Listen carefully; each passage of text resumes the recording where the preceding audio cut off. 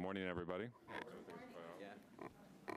That was not meant to be a call and response. The microphone wasn't working, but I appreciate the uh, enthusiasm for the Board of Supervisors this morning. So we're just waiting for uh, this to get set up.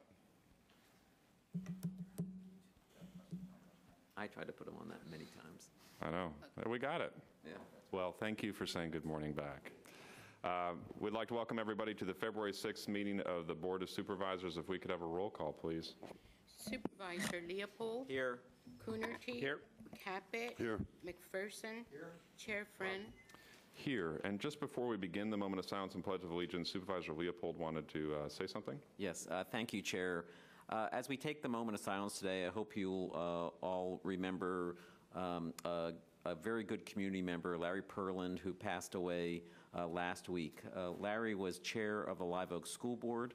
Uh, He was a member of the Land Trust of Santa Cruz County Board, um, formerly my planning commissioner, and just has been an outstanding advocate for Live Oak, um, uh, for uh, good uh, development um, and for really taking care of the next generation of, of human beings that are going to be living here. Uh, it was, it's a great loss to lose him so early in life, and uh, uh, please keep him, in, him and his family in your thoughts as we do this moment of silence. Thank you, Supervisor Leopold. Please join us in a moment of silence in the Pledge of Allegiance.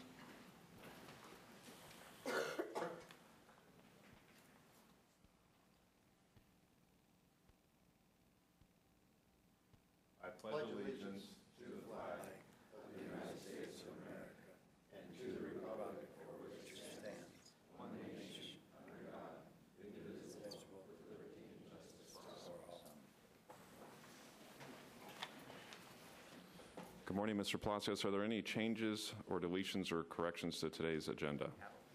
Uh, Yes, on the consent agenda, uh, items uh, 9 and 11, there's an additional materials. There's CEQA uh, notice of exemptions for each of those items. On item 46, there's additional materials. There's an ADM 29 form. And on item 50, there's uh, a replacement of the AUD 74 uh, form. Thank you. Thank you, Mr. Palacios. We'll now uh, ask whether there are any more uh, members of the board that would like to either pull an item or briefly comment on an item consent. Good morning, Supervisor Caput. Uh, th- uh, Thank you. I I just want to say that uh, on item number 18, uh, a small uh, remodel on the uh, um, mental health facility in Watsonville. And I I think that uh, we need to do more, and uh, we are doing more for uh, mental health uh, uh, outreach in the Watsonville area, South County. So I'm really uh, pleased to see that. Thank you. Thank you, Supervisor Caput. Good morning, Supervisor Yeah, McPherson. I will uh, be voting no on item number 11. Uh, And also, I just wanted to um, say thanks to all of the people who serve on the various commissions. We are accepting and filing reports on several of those commissions, water, women's, seniors, mobile and manufactured homes, in-home support services, and so forth. We have uh, literally hundreds of people serving on our two dozen plus uh, commissions in this county. They put a lot of time and effort into it, and without obviously going into each and every one of them, uh, they're a, a really tremendous asset for us, and uh, we appreciate the time and effort they put into these various um, these various efforts that they have. Uh, they're vital to each uh, of us on the Board of Supervisors. So I just wanted to say thank you to those who serve on those commissions. Thank you, Supervisor McPherson. Good morning, Supervisor Coonerty.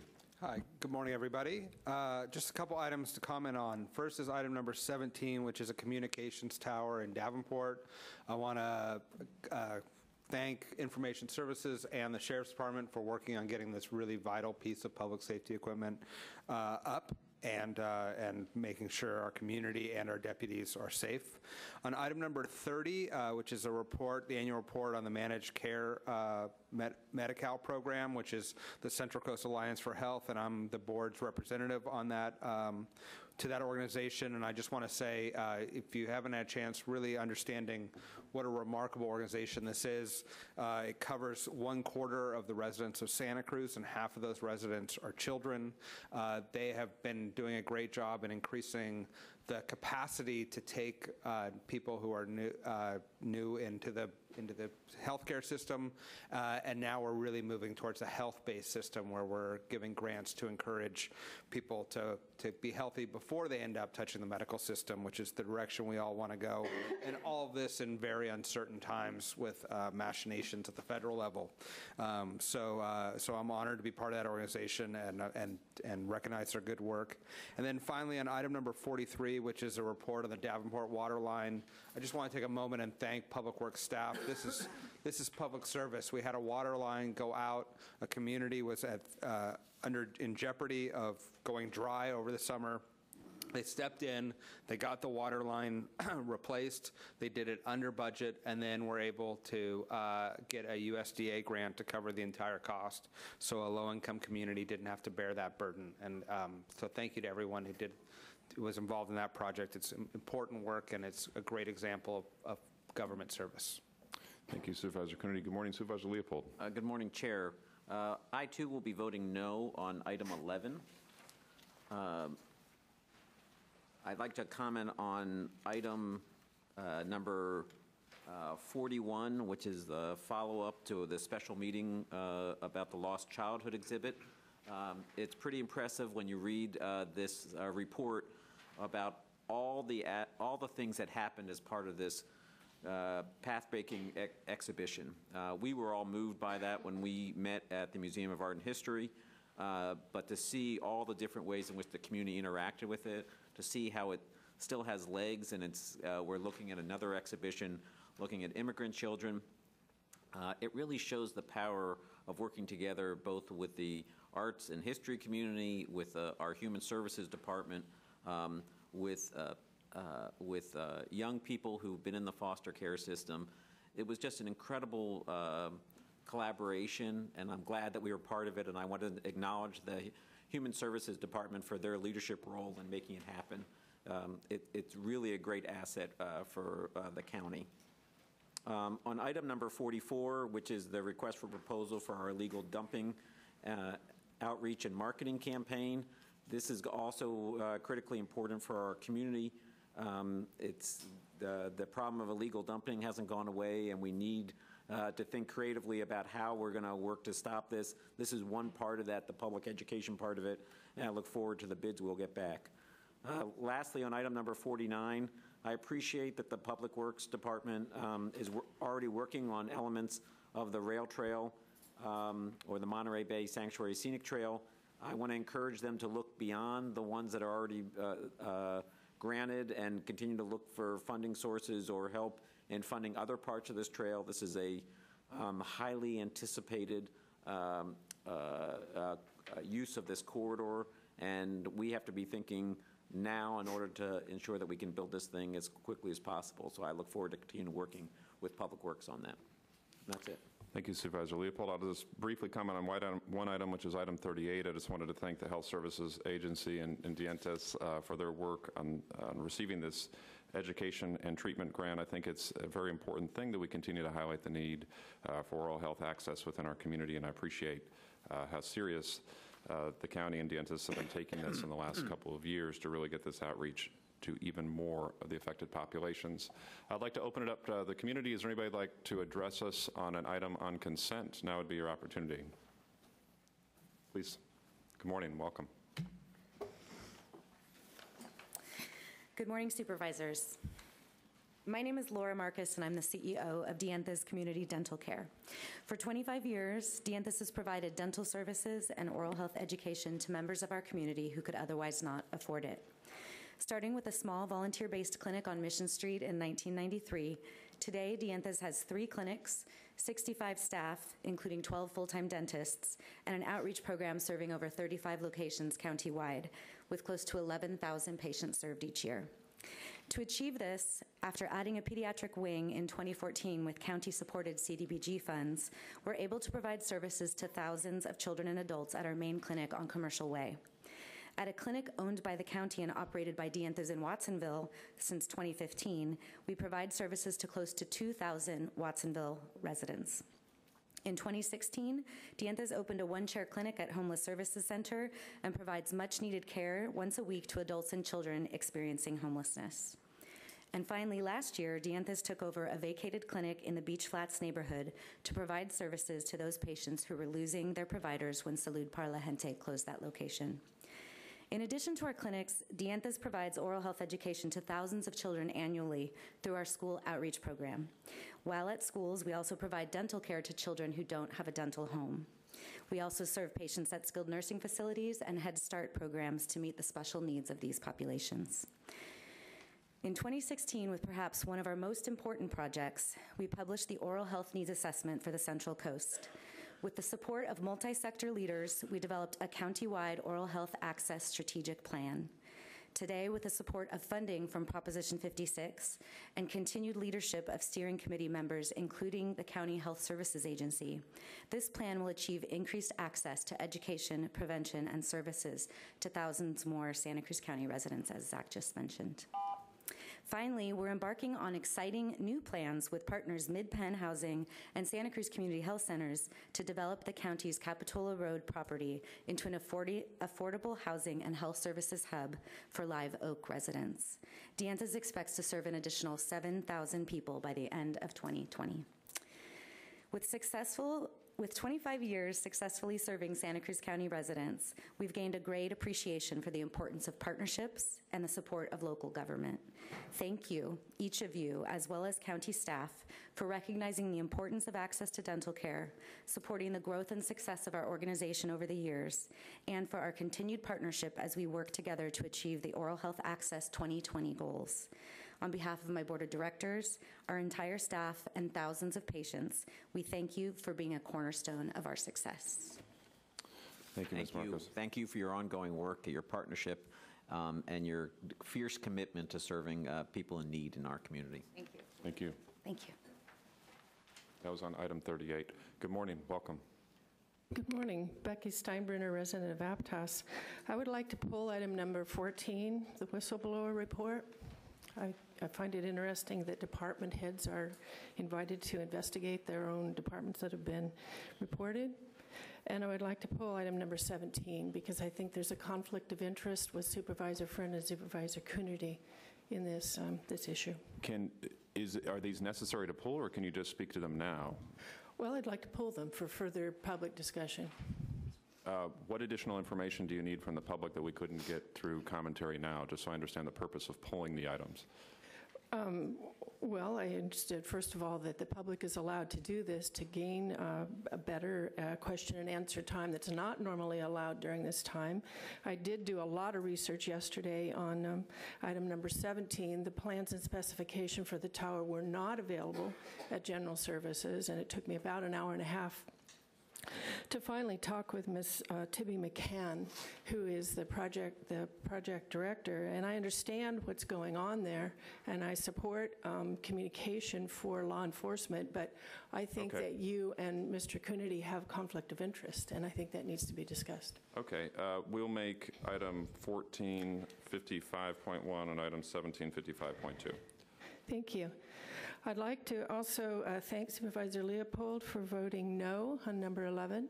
I support that. I don't think that um, hosted rentals should be limited, and, and I just don't agree with this at all, so thank you. I would also like to point out that I would like to see more, uh, I would like to see an investigation regarding number 40, um, child trafficking in this state and in this country and in the world is, is abysmal. And I think that our, our county really needs to do an investigation into some of the foster care and uh, really investigate that. And then finally, item number 49, I too am happy to see some work going on on the, um, the scenic trail, and I, I plan to walk the, the full 32 miles of that trail. And if anyone would like to join me, you're welcome. I'm not going to do it all in one day, but I welcome anybody that would like to walk that trail with me and really take a look at the beautiful place and its challenges. Thank you very much. Thank you. Is there anybody else that would like to address this on item on consent? Good morning. Good morning, Chairman friends, Supervisors. Just three things, but it'll be real quick. Uh, One is number 21. Um, I think you should uh, put a moratorium on all appointments to planning until you reenact the Citizens Planning Appeal Board. This was abolished by you. You re- you assumed all that authority so that you now only, ma- you make the law, you execute the law, and you judge the law. We just heard Bruce McPherson, um, who actually received thousands of dollars from a communist red Chinese triple agent, never mentioned in the Sentinel. Um, But anyway, uh, he just commented on the wonderful community volunteers, but it seems like for at least, at least a half a decade, you haven't found any contractors inside this county that you feel are good enough to be on the appeals board, and you continue to hold that power to yourselves, I think, for uh, bad purposes. Uh, The other one is number 40, uh, where you're, again, you're moving authority to a COG. A COG is a council of government. You're giving away the authority of this county and the sovereignty of the people here and their ability to control you, and you continually do it. You're operating under the uh, programs of which Bruce McPherson and um, uh, Fred Keeley worked under, uh, which is Common Cause. It's a huge foundation-run thing in which they want to con- consolidate uh, power in organizations like AMBAG, in which there is no community TV, by the way, and there is no report by the Sentinel newspapers. And then lastly, uh, the tragedy of lost children. Uh, there were 500 arrests in Los Angeles. I suggest people look up Pizzagate. It's something, again, the Santa Cruz Sentinel that's controlled totally by globalists will never tell you about. Is there anybody else who'd like to address us on an item on consent? Please, now would be your opportunity. Uh, Seeing no one else would like to, ad- oh. It's all right, on the consent agenda. sorry, it's on consent. Yeah. All right, All right, cool. go ahead. Hi, my name is Lauren Benetua. I'm from the Santa Cruz Museum of Art and History. And I just wanted to say thank you to the Board of Supervisors for being involved in this process and being our c- partners in this exhibition. And I'm pleased to report some of the impacts and outcomes of the exhibition, which included over 70,000 visitors to the exhibition. And we engaged 130 community partners in this process from planning to the execution and the programming and events, 50% of which, um, of whom were uh, foster youth or youth in care. Um, we also invited museum visitors to take direct action, and I'm pleased to say that this resulted in over three uh, in over 300 direct actions fulfilled to support foster youth. Um, I also want to say thank you, especially to Supervisor John Leopold for. Um, being involved as well and also opening up the opportunity for foster youth to speak directly to the Board of Supervisors. Um, and that conversation also sparked similar versions of that engagement um, with foster youth, which included the Santa Cruz County Office of Education Superintendents. Um, and uh, yeah, I just want to say thank you so much for being our partners, and we look forward to um, more collaboration in the future. Thank you. Thank you. Thank you. That's item 41. Good morning, welcome. Good morning. I'd also like to speak to item 41. Um, my name is Nina Simon. I'm the executive director of the MAH. And Lauren just shared some of the great outcomes of the Lost Childhoods exhibition.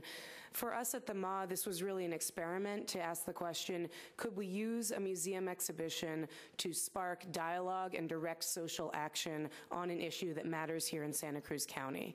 And um, as you heard from the outcomes of this exhibition, we feel like the model is proven. We're very excited about it. Um, the, that specific exhibition, Lost Childhoods, just opened last week in Salinas with a new addition that relates to Monterey County uh, youth in care and foster youth, many of whom are in a um, uh, underground or undocumented situation. And that exhibition may continue to go around the state in partnership with CASA.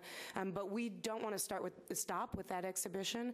Our intent is every other year to do a six-month exhibition at the MAH on an issue of uh, direct local importance, using art as a catalyst for social dialogue and action. Um, and so, what I'm here to say is we're proud of this project, but we're really looking to you as our partners in the future of being able to use museum exhibitions at the MAH to have an open conversations about issues that matter in this room and throughout our county. And we're currently working with partners around the county to talk about what should the next project be in 2019, what else should we be looking at. Um, we'd certainly welcome any supervisor input on issues that you think would be really potent for this kind of uh, public investigation and exploration. And we're really excited about the opportunity to do this, not just at the MAH, but at museums around the world. Uh, Lauren and I are working now on a toolkit for how other museums around the world can make these kinds of exhibitions. We've already had interest from a group who came over from England to see this foster youth exhibit and to think about how they could do a similar project. So we're really proud that here in Santa Cruz County, we're creating a model that can be used not just to open up dialogue around issues here in our community, but potentially in other communities as well. I think that from my perspective, the partnership with the county um, on this project was absolutely instrumental to its work, uh, especially our great partnership with the Human Services Department led by Ellen Timberlake and with supervisors. Um, the fact that youth got to speak directly to you at that study session was incredibly meaningful for them, and it was incredibly meaningful for all the advocates who've been working with foster youth for so long and feel that the issue often is seen as invisible. I'm really heartened and believe that action can happen based on that exhibition, and I'm excited and very curious to hear your perspectives on what other issues we could comparably spark action and dialogue around with an exhibition. Thank you. Thank you. Thank you for your ongoing work. To use the museum as this tool to, to engage the community in a critical uh, issue uh, is outstanding. It's, un, it- it's, uh, it, it was unlikely uh, to, to see a museum play that role, and, and, you, and the museum really stepped up, really engaged the community in the creation of the, of the uh, exhibition, and then really engaged the community in seeing the exhibition and participating. So thank you for your work. Thank you. Good morning, Ms. Timberlake. Good morning, Supervisors, Chair Friend, Ellen Timberlake, Director of the Human Services Department. And I just wanted to conclude the discussion about lost childhoods with an enormous amount of appreciation to both your board for taking the step out into the community and listening to the voices of our, uh, of our foster youth and former foster youth, but also an incredible amount of thanks to Nina, Lauren, the MAH for inviting the community in to create this experiential exhibit and really to the youth who led this process. Um, I have never been a part of something as powerful as this. I am a true believer in the vision that Nina just shared. We will do everything possible to take this exhibit and make it work across the state, and we also will be an eager partner as you know new issues come to the fore to use the museum and the community to really um, move this move this model forward. So I want to thank um, everyone who's been involved. It's on behalf of our department. Thank you. Thank you. Is there anybody else for consent agenda? Good morning. Uh, Morning. Uh, Morning, whoops, morning to my Santa Cruz County residents. It's just hard to multitask uh, with my GoPro. Um, But anyways, I want to be able to say that, you know, I'm running late, and I want members of the public to know that the Brown Act is a real act. Wh- Which item on the consent agenda are you addressing? Uh, Well, I was- that's the whole thing. I was, I was trying to deal with that. The light item agenda, like I said, is in a secret room way back there. I'm running late. I need the light item agenda placed here, and I I need members of the public to help me because we should be able to scrutinize it, peruse it right here, so I can, I can be able to weigh in on the political issue. There's issues here, but I'm afraid if I go over there, I'm gonna miss my opportunity to do the consent calendar. I, we asked last week if you guys can please put the public comment where needs a- uh, the public uh, agenda right out here so we can scrutinize it, peruse it, circumspect it. I think it's imperative for civil society activists to be able to come up here and do this. County Counsel, it doesn't benefit members of the public to put it over there. Is it, it is actually left right there. Are we out of copies on that desk? The light item agenda, so I- I'm, I'm able to peruse it according to the entire Brown Act. agenda- The entire agenda, including the consent agenda. The- The package. He he wants the full, he Oh, wants the oh, I full see. binder. Yeah, yeah, the binder. I I apologize, because That's what I understand. it's, it's hard for me to, to be able to weigh in on the issues. I want to talk on the issues, but it's over there, and I don't want to miss it Okay, here, and I'm running a little late. We asked last week, uh, Becky asked for it also, And as a member of the public, we're asking for it to be kept in this room so that we're able to scrutinize it. So I can come and make a qualifying statement regarding the issues. But since I'm not, this is what I got to do, is I got to use the consent calendar to continue to, to raise protests, and that's the American way. Thank you. Thank you. Is there anybody else who would like to address us on the- an item on the consent agenda? Good morning, welcome. Good morning.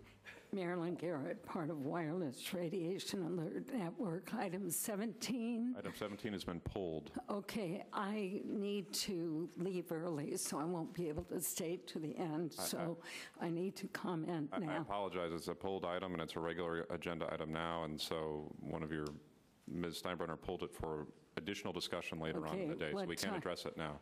Okay, uh, Unfortunately, it's item 55.2. do you have a sense of what time that would be on in the Well, afternoon? we have a, we have a 10:45 scheduled item, and it'll, it'll fall immediately after that 10:45 scheduled item. Okay, I have to go. Well, I uh, also want to talk about uh, the uh, number uh, 14, the whistleblower. That- That item, that item was also pulled by Ms. Oh, that Steinbruner. was- Those, yeah. those two items were pulled by Ms. Steinbruner. They'll both occur right after the 10:45. 1045. Thank you. Thank you. Is there anybody else that'd like to address us on consent? Uh, Seeing none, we'll bring back to the board for action. I move the consent agenda as amended with the the acknowledgement of the two no votes on item 11. A motion from Supervisor Leopold, a second from Supervisor Coonerty. All those in favor? Aye. Opposed? It passes unanimously. We'll now move on to oral communications. This is an opportunity for members of the community to address us on items that are not on today's agenda but are within the purview of the Board of Supervisors. You'll have three minutes uh, to address the board. Please feel free to step forward. Good morning welcome. Good morning. Kate Roberts with the Monterey Bay Economic Partnership. I'm the president of that organization. Good morning, gentlemen. Um, I wanted to speak to you about a white paper that MBEP recently published in partnership with Envision Housing. It's a white paper on what realistic policy changes could improve housing affordability in the Monterey Bay region.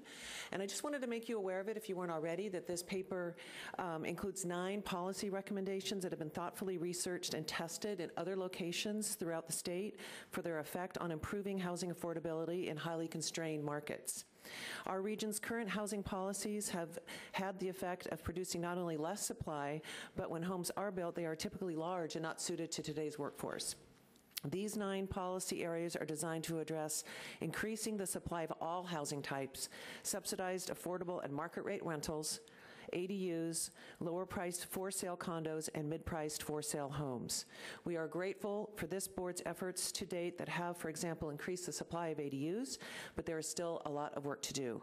We want to incent the right kind of houses to be built and implement sound policies that ensure our housing production continues to grow. That white paper can be found on our website, mbep.biz, and we would be happy to follow up with you and make sure that you get a copy of it. Thank you so much. Thank you. The entire board has received a copy of that report. Great, thank Ms. you. Roberts. Good morning. Welcome. Good morning. My name is Veronica Lopez Duran, and I am currently the Community Studies Program Manager at UCSC. And I am here today to invite you all to join us on Giving Day, which will be February 28th, to contribute to our particular campaign, which will be honoring Officer Elizabeth Butler. Um, a little bit of background I spent two and a half years working at the Regional 911 Center before moving to work at UCSC, and I was actually on duty the day of the incident.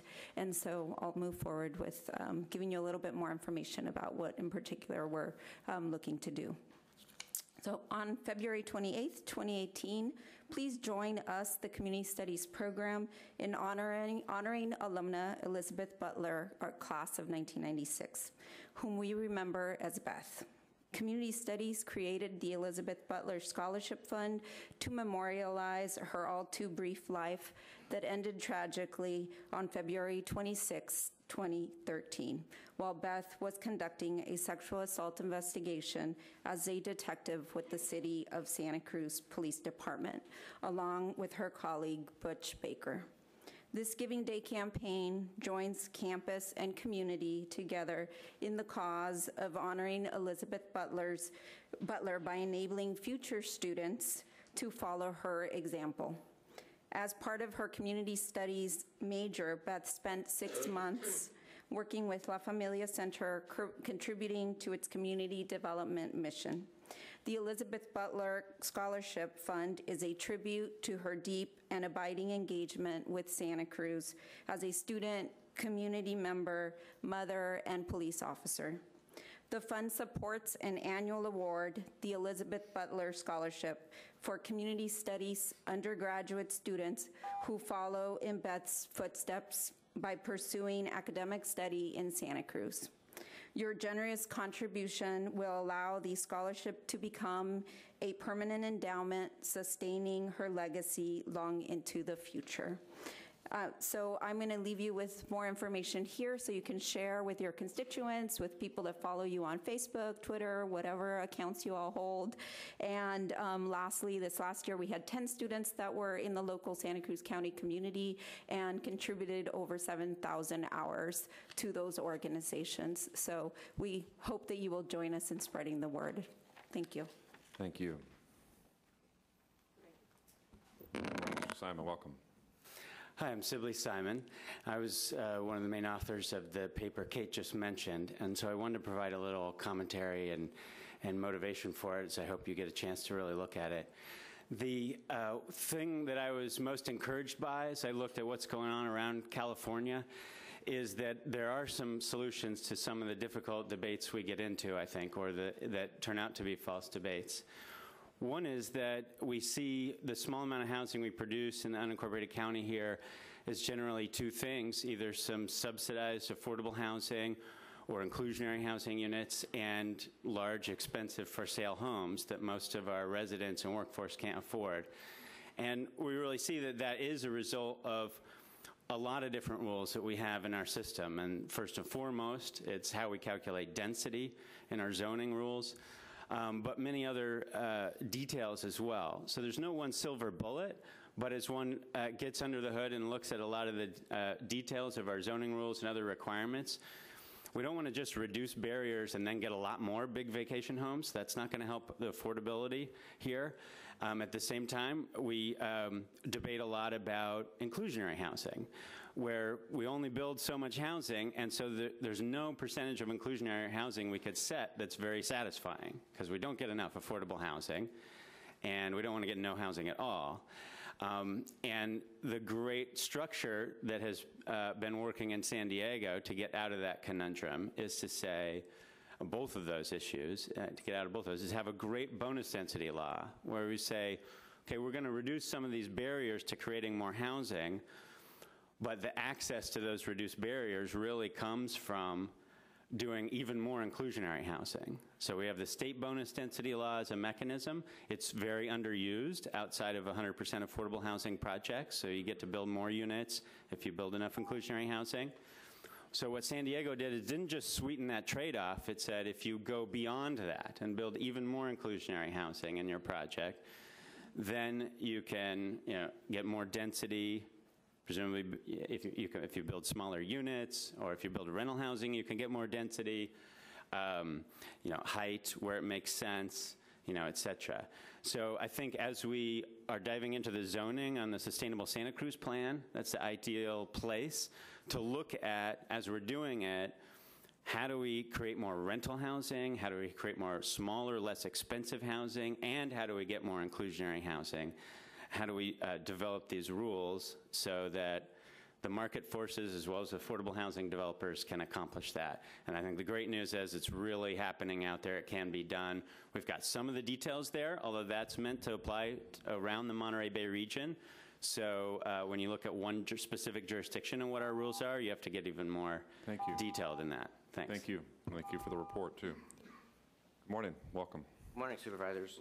So my name is Rocco Capella, and um, I'm a, I live here in the city of Santa Cruz. Um, My daughter goes to Mission Hill Middle School. I'm quite active with the uh, Parent Teacher Association, and I'm also active with the Santa Cruz Education Foundation. So um, the reason I'm here this morning is I want to just make a few comments about mental health. I know there's a big discussion going on in the community about that, and I want to encourage um, the supervisors to also not forget about um, the public school system. So I know that when Prop 63 passed, there was a big emphasis on children Um, We would like to hope that most of our children, at least to 18, are in school, Um, so that's kind of where you can reach them. Um, You know, I'm not a professional mental health person, so I don't know like exactly how you would do that, but I do know that they do need some help at the, in, uh, at least in the public school system. I think um, PVPSA in, in uh, Watsonville does a great job. Um, I'm not sure kind of how that filters down to the other um, school districts, but I would like to just encourage you to, um, to consider all of that as this, you know, discussion's going on. So, thank you. Thank you. Morning. Welcome. Morning.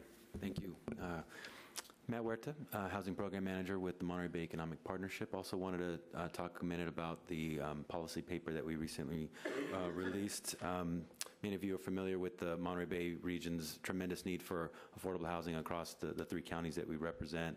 Um, Over two years ago now, um, MBEP established at least trying to figure out what are the major strategies that we can employ to try to achieve uh, the goal of 10,000 units, uh, homes over um, several years' time. The planning period through 2023 is an example. So a huge goal, but you have to do something um, along many fronts in order to even attempt to get close to that. So um, this policy paper represents uh, another attempt um, to work uh, with our local government partners to get there. I just wanted to mention three quick items. So one of, so there's nine policy recommendations, one of them which uh, talks about fee structures. Um, We want to recommend that the, that we scale all the fees, impact fees by square foot, not per unit.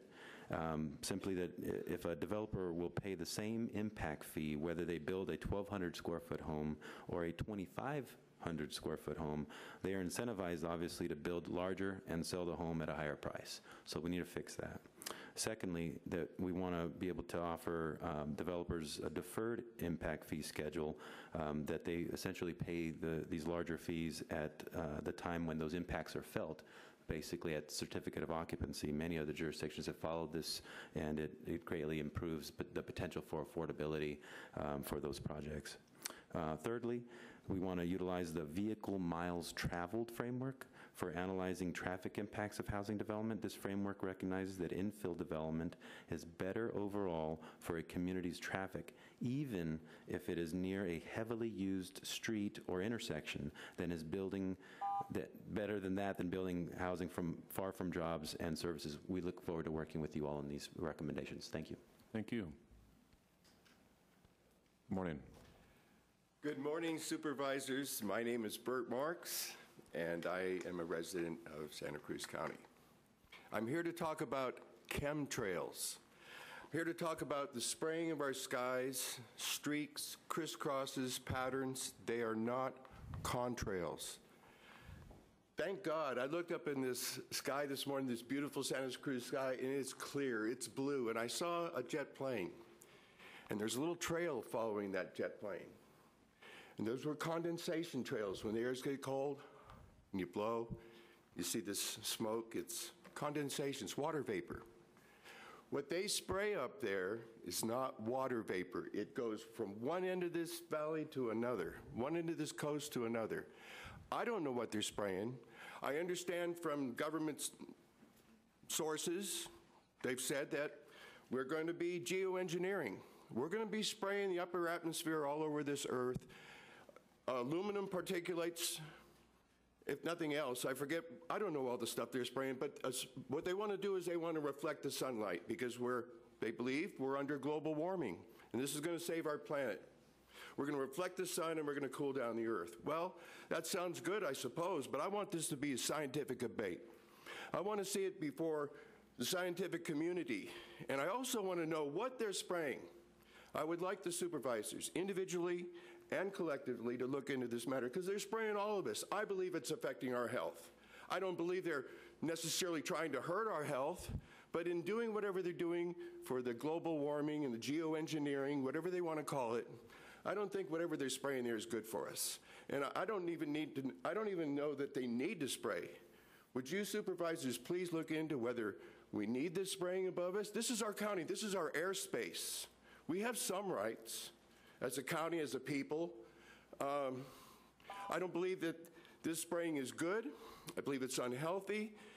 And frankly, even if it is good and it is healthy, I want to know what it is. I want to know exactly what those particulates and how much and where they're coming from. Is this military, top secret, experimental, government? We don't know. I, I look at I look at the skies. Most days, they're filled with these chemtrails, and and it, it, it's it's disconcerting not to know what this stuff is, and it's not condensation. It's not normal jet condensation. So that's my point, and I hope that you guys will take upon yourselves to address this issue. Thank you. Thank you.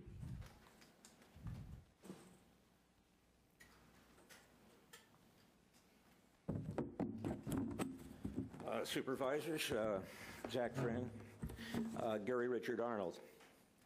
This community prides itself on being liberal and have a progressive influence in it. And the venues for entertainment and plays and speeches and ad hoc committees have always been available. Uh, for over a decade, there's been a group with open doors and a, a table for anybody's literature that attends. It's called Freedom Forum. Uh, it addresses many of the issues that you had come before your board here. It's been active, like I said, for over a, decade, and we've held candidates nights, of which some of you attended. Uh, the mark of a police state is when free speech is attacked. The most dangerous is when the attacks come from government. The providers of space for Freedom Forum have been threatened with violence and destruction of property. Those threats were initiated by two of the supervisors sitting here today. I spoke before this board to do something to indicate those acts were not the responsibility of the board in whole. Of course, there has been no action. Uh, the county counsel's job is not to protect the crimes of the supervisors, but as officers of the court to report those crimes or be a participant of this attack on the, on the people and their Fourth Amendment right. The FBI has been notified, so I suggest you don't destroy your cell phones and your uh, computers. Um, again, uh, uh, two years earlier, uh, it's the same speaker that attended, that the speech was broken up, had attended the Resource Center, uh, Mr. Coonerty's Resource Center over there. Uh, the same speaker was there. So it was targeted specifically at uh, Freedom Forum, and it has a political spectrum across the board. I believe that uh, the power behind this is probably going to likely lead to the uh, Panetta political machine. I think if anybody looks up Panetta Gate, they'll find articles on it going on for a decade at least. And again, the Santa Cruz Sentinel will never say a word about it. This Board of Supervisors maintain two plaques outside this chamber right here. If Robert Mueller were looking for evidence of Russian communication or, or uh, collusion, they would find again this board uh, supports two plaques by a member of four Soviet Russian communist spy rings. You can walk outside today and find that there. You'll find letters, military information coming from Leon Panetta that go, went to this communist spy. Sorge, Perlo, Silvermaster, all communist spies. And you are connected with the Panetta machine and represent the multinationals and not the people here. Thank you. Does anybody else like to address us during oral communications? Good morning. Good morning. Um, Bruce Walker, in-home health care provider. Um, I'm here today to um, thank the board for signing and agreeing to our contract for the next three years. Um, It is much appreciated within the community. Um, We uh, worked together on this, and, um, you know, we we listened to you, and you listened to us. And I really believe that that really helped with the uh, negotiations within your negotiation committee. They, um, they really seem to care and understand the uh, aspects of which we were uh, needing. Um, in, in, in separate meetings with uh, the supervisors, I really saw caring and understanding about the type of work that we do do within the community. And with that, I really believe that um, we came up with a win-win situation both for the um, county and for the workers that do the type of work that we do. Um, Once again, um, it is appreciated. You, you went and visited Sacramento. You sent letter to, letters to Sacramento. Um, That is another phase of education that we do need to do, and um, that is appreciated. So thank you very much for our contract. Thank you. Thank you. Good morning. My name is Colleen Gard, and I'm here to discuss the um, Santa Cruz City wants some of the money for mental health from the county, and I'm saying, please, If I may just briefly interrupt, and I apologize for this, that item is actually on the regular agenda. It's uh, two items from now. This is an opportunity to speak on items that aren't on today's agenda at all. Okay, all right. So it's just a timing issue, but we do want to hear what you have to say when that So it's comes up. later on? Yeah, it's uh, two, it's shortly, actually. Okay, all Yeah, right, thank you, sorry. Not a problem. Good morning, welcome. Good morning. Uh, Stony Brook, I'm your veteran liaison to the Human Services Commission. I wanted to take an opportunity to kind of update you on some of the things that are going on with your veteran community. Uh, Most of you are very familiar because you visited our Veterans uh, Memorial Building over on Front Street. You're aware of our Wednesday service program.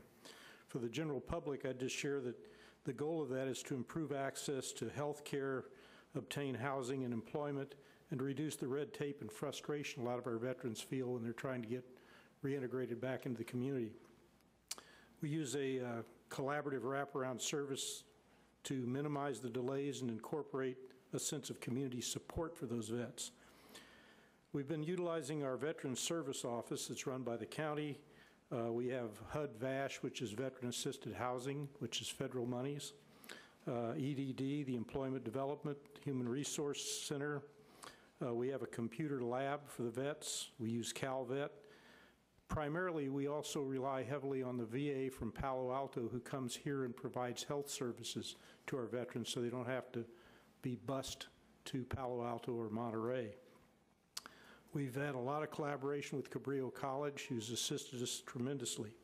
So cutting right to the chase, I wanted to share a few numbers with you. In 2017, we registered 2,937 participants that came through the doors in 2017.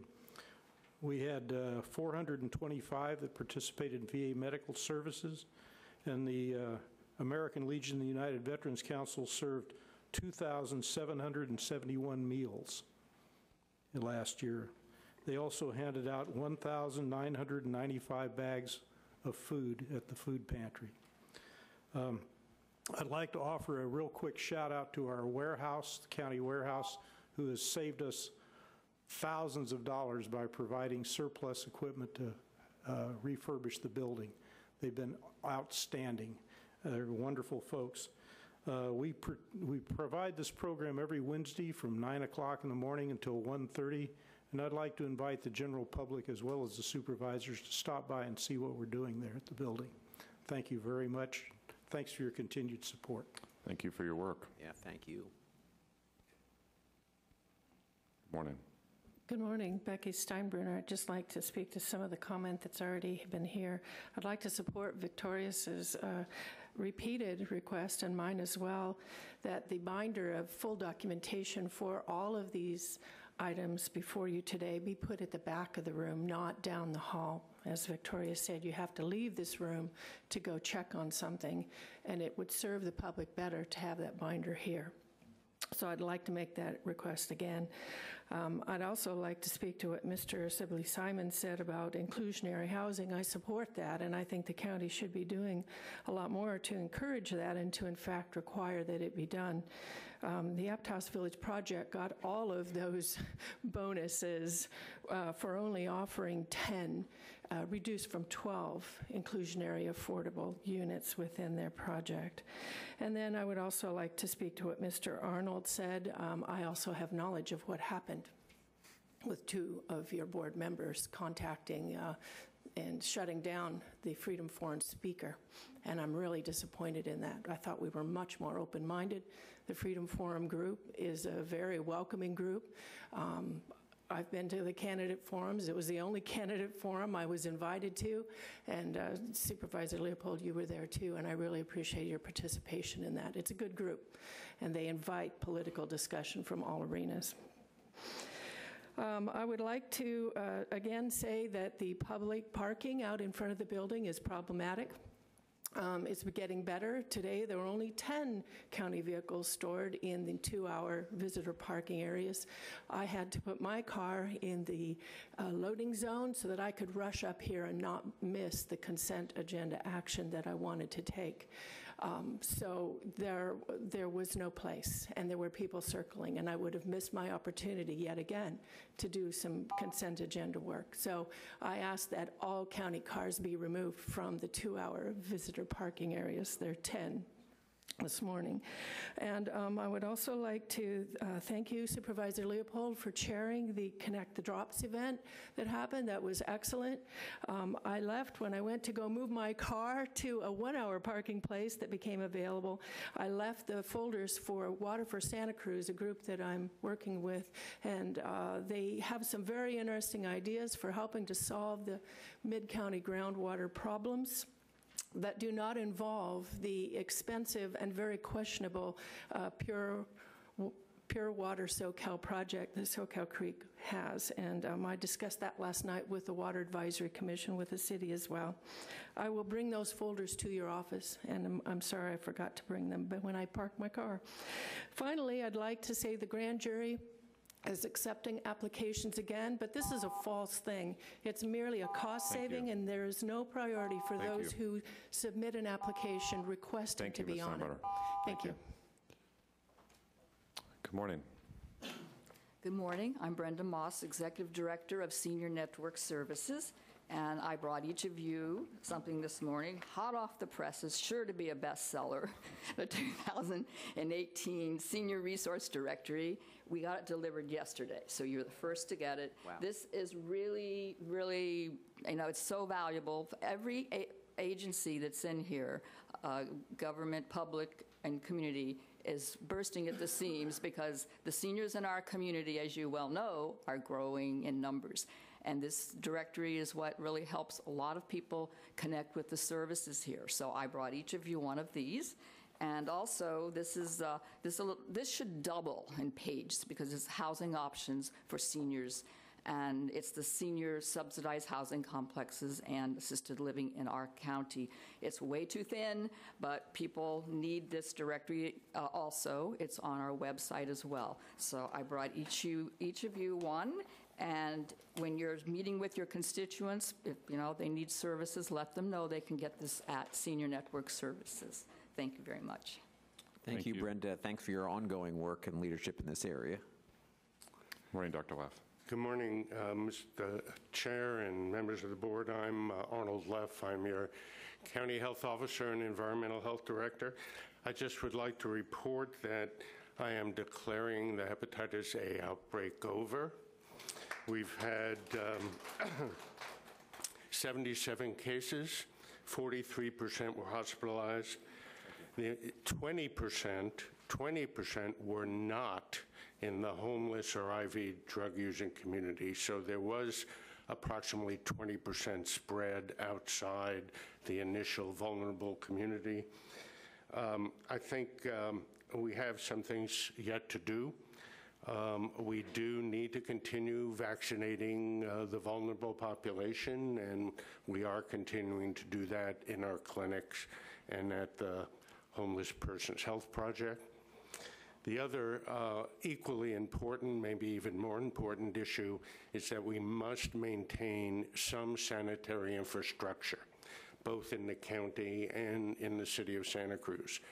If we do not allow uh, for people to wash their hands and go to the bathroom, we're going to be faced with uh, similar outbreaks in the future. So that's the main thing I've been pushing over the last uh, couple of months. Uh, I would also like to let everybody know that we're 64 county employees from multiple departments that were involved in stopping this outbreak, and uh, they deserve a lot of thanks. Thank you. Thank you for your work and the work of all the public health professionals who helped us end this epidemic. Good morning. Good morning to my fellow Americans.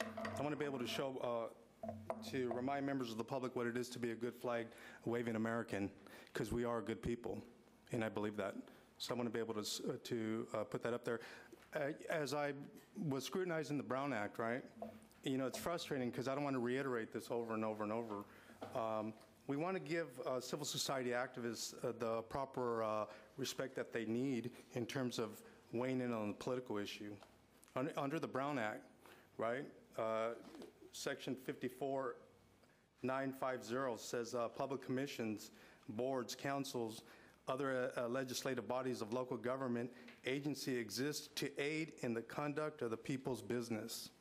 The conduct of the people business is a light item agenda, which needs to be brought in this room, so we're able to scrutinize, peruse, and circumspect the whole thing. Uh, there's a, a functionary bureaucrat out in the hall. He got upset. He was like, he was like, Victorious, why do you want that in here, man? They got internet connection. My phone fell down, broke. I can't even get on it, and I can't even pay to make the payment so that it's online. We should be able to have a, a um, due diligence to be able to circumspect that uh, item agenda and speak up on on the issue. And I want to be able to talk about community justice, because when it comes to community justice, it seems like it's not working in this county. You know, there's a, there's a, these political agencies are being used for nefarious means to work against the American public. And the judgment on justice in Santa Cruz County is, I'm striking out the DA's office. Let me grab this real quick. I want to be able to let members of the public know that, hey, as I speak out and criticize my government, they want to criminalize all political dissent, and it stems with the DA's office uh, maliciously engaging in, in, the, in these prosecutions that make no sense. They want to stack two of my disturbing the peace and resisting arrest in, in, in the court. And this is shameful because the DA, the DA office is just coming heavy-handed. They're- These people are not, they have no common sense. They have no moral sense. And when they have neither, they have no sense. I would ask members of the public to really scrutinize, do we want this type of leadership in Santa Cruz County? I can't be dealing with this whole network of corruption. I need members of the public to take heed. There's all, all these other civil society activists that are talking about this DA. It's time to do the right thing, and let's, let's impose a psychological reform on this political community, because we want one county out of the 58 counties that's going to understand what community justice is all about. It's coming at it right. And that's what we expect, because we're goodwill souls. We don't want, you know, if they have, if they have every reason to punish me and impose sanctions, I'm willingly accept it. But in these cases, me standing up and exercising my First Amendment right, I find it very shameful. And I would ask you guys as political bosses to push up on this guy and let him know that, hey, we need to end the corruption. Thank you. The political ills. Thank you. Thank you. Is there anybody else for oral communications? Good morning.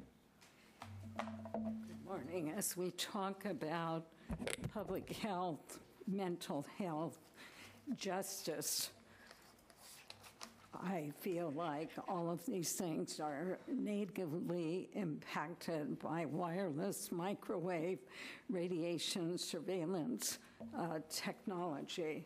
And when it's touted as being for public safety, it's not safe when you're microwaving the planet and causing cellular stress and damage and increased cancer and death of the bees and all wildlife being damaged. That is not public safety or, or public health. And the fact that we are being exposed to this is easily detectable uh, by the facts, but also by detector of microwave radiation like this. I wish we could see all of this like you see cigarette smoke emanating from your computers, everybody's cell phone, the antennas on the building might get a visual sense. I was in this room last Friday when the zoning administrator gave her rubber stamp approval to yet another cell site emitting radiation. The neighbors, every neighbor opposed it. And this is one of the signs, I'll pass it around, they had. It says T-Mobile, Anthem, Telecom. There's uh, no sign through it. This is on Calabasas Road, what was Pacific Crest Apiaries in Watsonville. It's off of White Road, if you know the area, and I used to teach at Calabasas School, so it's down the road from there. This is for a 78-foot cell tower, uh, not in compliance with the county code, in a residential agricultural area. Microwave dish is on the plans, three remote radio units, um, generator, three platforms for additional carriers uh, to come. This is like a major industrial, commercial, toxic site plunked down in a gorgeous rural uh, residential neighborhood.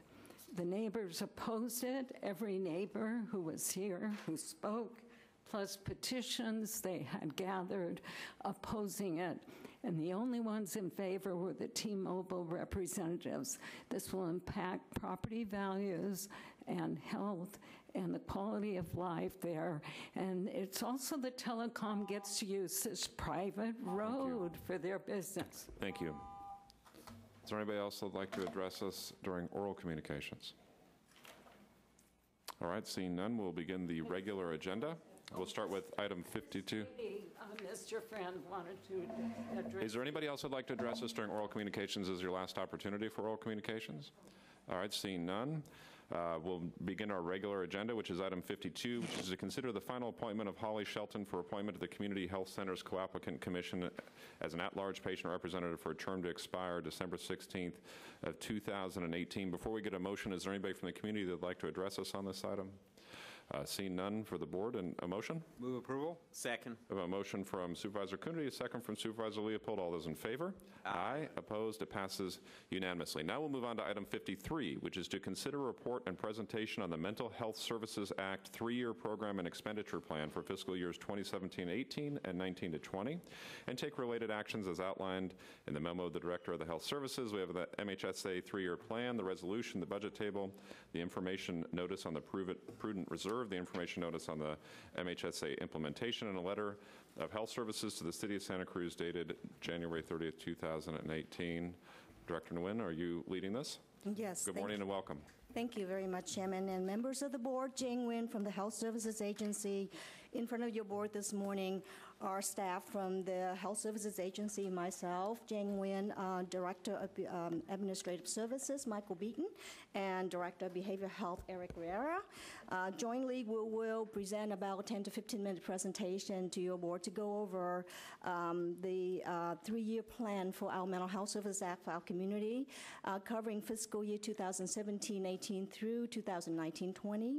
Uh, this is to satisfy statutory requirements that we have to present this item uh, in public for our board consideration and approval to move forward so that we can draw down funding from the state.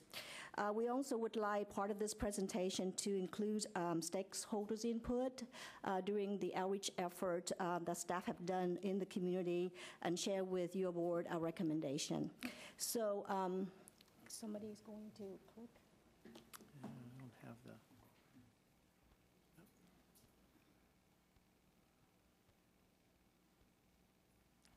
Do we have it, or do we need the, do we have it loaded?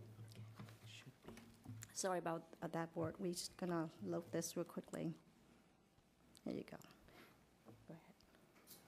So um, slide number two, just quick uh, reviews that your board know, uh, what are we going to um, present this morning.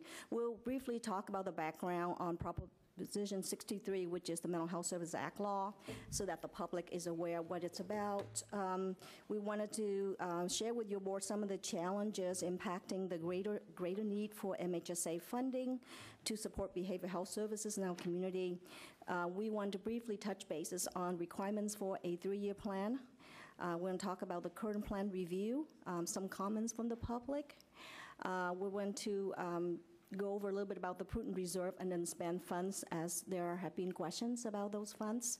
Um, And um, the three-year plan recommendation to your board for consideration and some of the significant changes from the prior three-year plans. And then uh, we wrap it up with future changes and how we're going further improve the stakeholder outreach, uh, community um, outreach effort. So with that, I'll start with the background uh, real quickly. As your board know, uh, Proposition 63 was a really great thing that happened statewide in uh, November 2004. Mental Health Services Act, which is uh, we call it MHSA, was established to fund local mental health services based on a 1% tax on individuals making over um, income of $1 million per year. This is for individual income tax, not corporate income tax. Shortly after the passage, um, unfortunately, as you recall, California took um, a toll uh, with the recession that, that every county had to utilize these funds to support a system of care in the face of major reductions in funding. So the goal was to expand mental health services in California. However, because of the recession, uh, in order to maintain core services, uh, counties statewide were facing um, the choice of trying to use MHSA funds to continue supporting those core services instead of cutting them or, um, or, or eliminating uh, them. So uh, when first established, it was projected that the MHSA funds would support approximately 10% of the entire mental health budget, you know, statewide and countywide. However, at this time, we looked at the, the state website and we learned that about 24% of each local mental health uh, program were, uh, is, are make up by MHSA, made up by MHSA funds. Here in our county, approximately 22% of the entire behavioral health budget is dependent upon MHSA funding. Um, briefly, as you know, by statute, the state requires county to divide the funding into major categories. And um, briefly, uh, one of them is the community supports and services. This is the major component, about 60% of all the funding to serve seriously mentally ill with wraparound intensive case management, whatever tech services.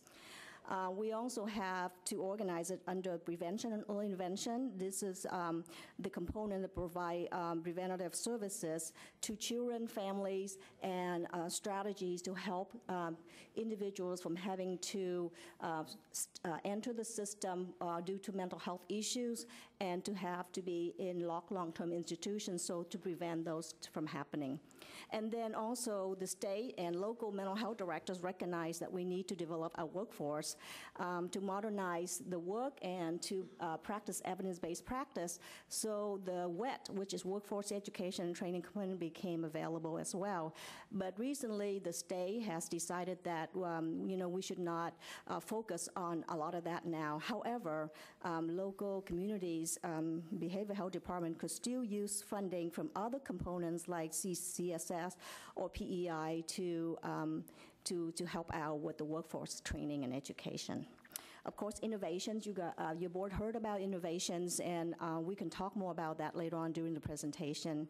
And then capital facilities and technological needs, a very important component to help counties uh, develop electronic health record system uh, to uh, support a lot of uh, laptops, computers for staff uh, to work in the community.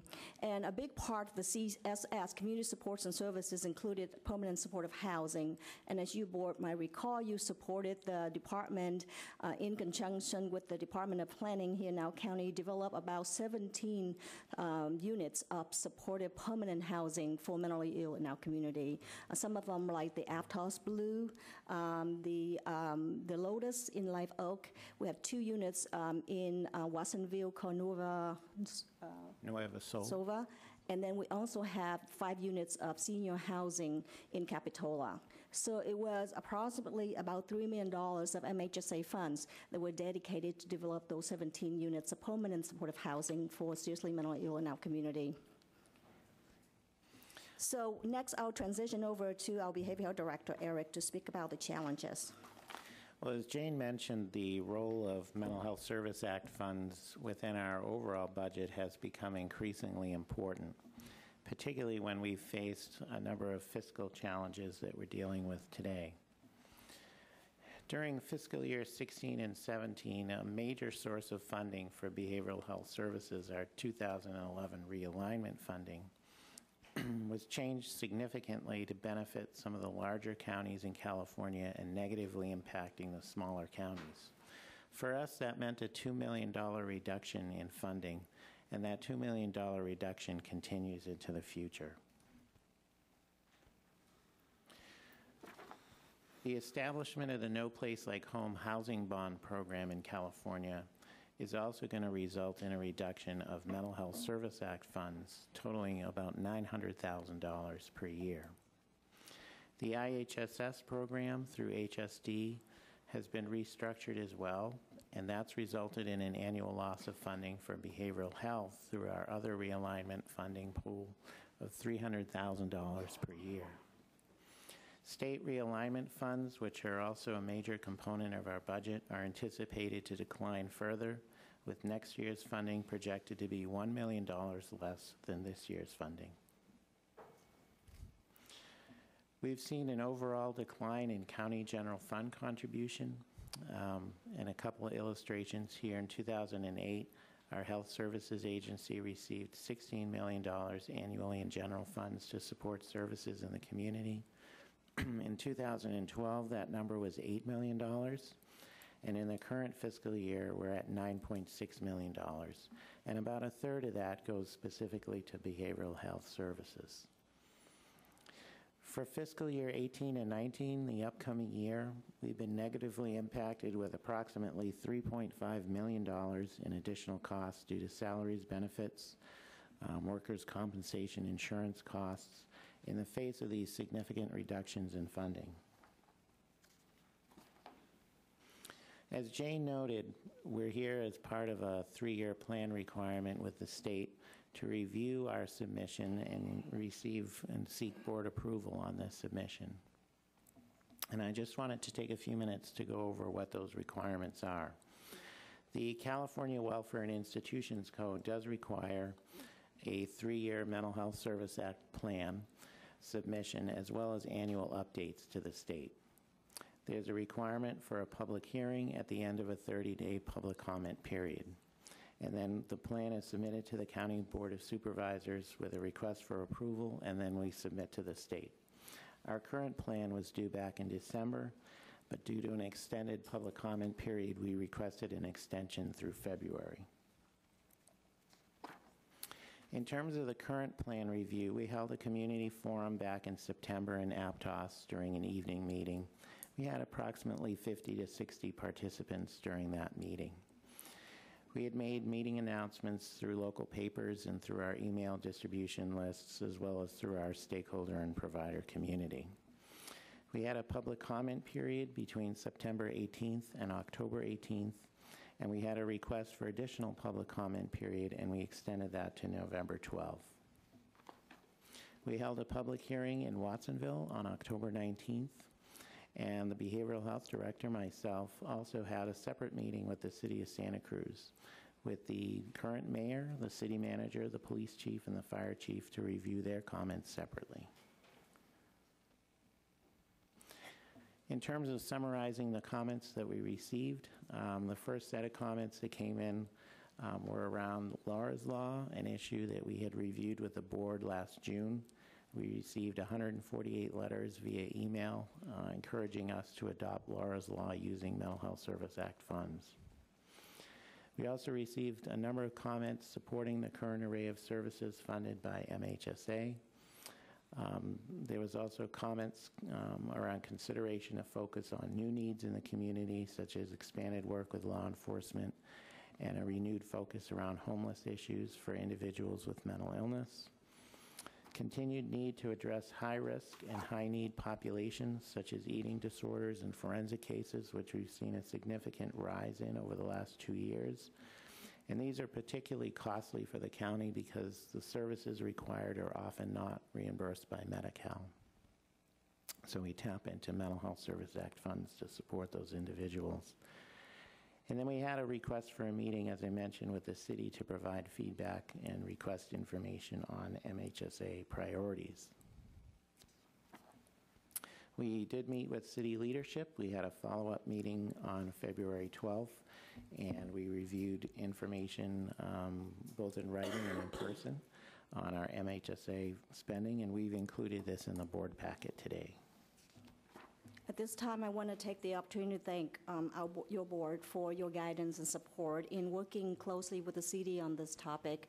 I also would like to um, express our appreciation to the City of Santa Cruz mayors and the city councils and their staff um, for their um, interest in this three-year plan and um, helpful input and advice on quality improvement for the next three years. So I just wanted to acknowledge that.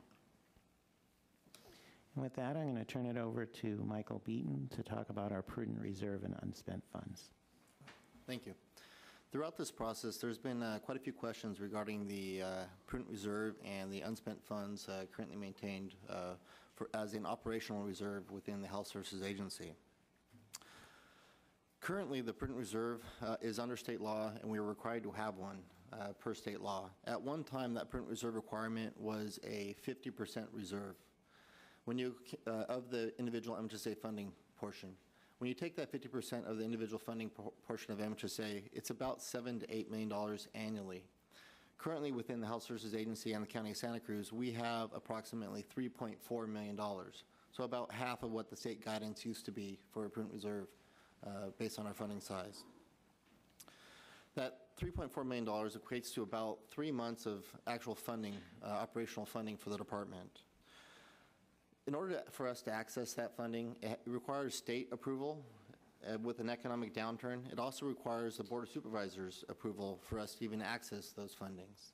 And again, the Health Services Agency, combined with the prudent reserve and the unspent funds, we use these as an effective operating reserve. When we talk about the unspent funds, uh, to better classify what unspent funds are and to kind of have a better understanding of what unspent funds are, we currently get monthly deposits from the state of MHSA funding. At the end of the year, uh, so when we get a monthly deposit from the state, we basically spend that money within three months. That three-month gap of funding that we get is considered unspent. That unspent balance, by what we're projecting for 1920, is about $2.9 million. So when you think about unspent money, it's really the money that we're getting right now on a monthly deposit that we actually end up spending three months later. That three-month gap is, in essence, our unspent funds. So when you think about it that way, it's a little bit different perspective. Now, statewide, we have three to 10 years to actually spend that money before it actually reverts to the state. And locally, we are actually spending that money within three to four months. So that kind of gives you a little bit of a perspective. The project, again, the projected balance of these funds is about $2.9 million at the end of this MHSA three-year plan. Now, when I say estimated dollar amount, nothing's set in stone. Every time the state comes and does an audit of our cost reports, every time the state does a review, they make changes to our cost reports. And when those changes happen, it changes the dollar amount that we have available for unspent funds. Every single time they have a finding uh, in a cost report or we owe some money back in a cost report, those funds end up coming from a mix of local funding match with realignment and MHSA funding. Now, locally within the Health Services Agency, we've adopted one of the state, uh, one of the Board of Supervisors policies, which is a 10% reserve uh, of our funding streams within our behavioral health system. Now, when you combine the prudent reserve of $3.4 million and the unspent balance of $2.9 million is what we're projecting at the end of uh, 1920, that actually equates to about 8% reserve. So we're actually under what the Health Service Agency has adopted as the board's policy of a 10% reserve within the operations. Uh, That's kind of a quick background of the unspent funds and the prudent reserve.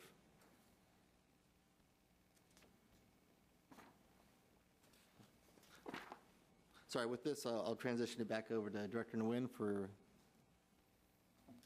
Thank you, um, Mr. Beaton. Actually, it's going to be um, Eric's going to be presenting next. Thank you. Thank you, Michael. In terms of the recommended three-year plan, um, the current plan covers fiscal years 17, 18 through 19, 20. And the recommended plan has a total three-year expenditure of $43 million, which is leveraging approximately 40% of that amount through federal funds and other funding sources for services to be provided in the community. In terms of some significant changes from our last plan, the first centers around our innovations program, which is our integrated health and housing supports program.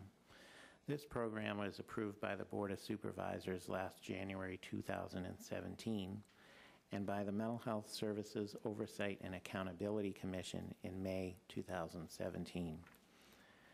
The development of that innovations plan involved community input as well as a public hearing um, in Sacramento at the Mental Health Services and Oversight Commission. And this innovations plan, which was ultimately approved, served as a foundation and matching funds for the county's whole person care grant application, which became operational on July 1st, 2017. The focus of both of these programs are to improve outcomes with individuals with mental illness, substance use disorders, and a co occurring health condition through the use of enhanced services, better coordination and collaboration, and telehealth home monitoring. The second significant area of change in our plan submission is around prevention and early intervention programs. As Jane mentioned, that's one of the categories that's funded through MHSA. In July 2016, the state published new regulations and requirements for local county PEI programs. And from that, we were able to expand our mobile emergency response services and crisis intervention services due to the renewed focus on those, on those areas through the PEI regulations. Our county MERT team provides crisis evaluations in the office and in the community. And crisis response services include the Law Enforcement Liaison Program with the City of Santa Cruz, the Watsonville Police Department, and the Sheriff. And finally, the third significant change in our plan is supporting the expansion of drug Medi-Cal services. With the expansion of drug Medi-Cal in Santa Cruz County, MHSA funds have been directed to support the additional infrastructure needs and support the expansion of services in the community, as well as meet additional state managed care requirements that we're obligated to follow. The expansion of drug Medi-Cal services, as your board knows, will allow the county to significantly expand capacity for residential and outpatient substance use disorder treatment from 1,500 individuals per year to over 3,000 individuals per year. Now, based on feedback that we received this year with our plan development, we are planning some future changes to the MHSA planning process. Our MHSA planning coordinator retired last December, Alicia Neheta, and with new and increased interest from the community in being more involved in the planning process, we're currently recruiting for an MHSA coordinator to implement a number of changes based on the feedback that we received and as part of our commitment to a continuous improvement process. We'll continue working with the community and key stakeholders, including clients and families, our service providers, and local cities and municipalities to identify key issues and return to the board with recommendations for our next annual plan update. I'll wrap it up with the last slide. Um, the Health Services Agency would like to um, let your board know that we are looking forward to continue improving our planning and engagement process and updating your board um, on our progress. So our recommendation today for your board to consider is to adopt a, adopt a, res, a resolution approving the submission of our MHSA three-year program and expenditure plan for fiscal year 2017-18 through 2019-20 to the California Mental Health Services Oversight and Accountability Commission and the State Department of Healthcare Services, and authorizing the director of the agency to sign all documents required for the submission. Thank you. Thank you. Are there any brief questions from board members before we open it up to the community? Supervisor Coonerty? Sure. Just one quick question, um, then we can get into some of the details. But uh, I know you met with the city last week. Have you gotten a response uh, from the mayor or uh, other city officials about this plan and the, and the future outreach plans and funding going forward? Yes, yeah, we met with the mayor and uh, city manager and his staff on Friday last week, the 2nd. It was a very productive meeting. Um, The mayors uh, had uh, a few questions um, as well as from the response letter that we issued from the department.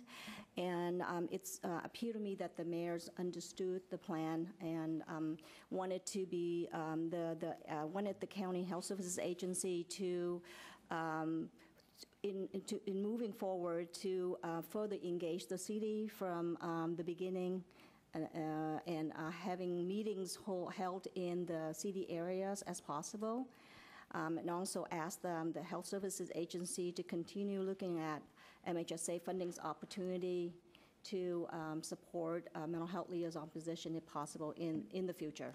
And you're willing to do those things? At this point, due to the fiscal constraints that we just described to your board, uh, we really need to work with stakeholders, um, including the CDs, all CDs in the county as well, to look at sustainability and um, any options that we may have um, to further review that request.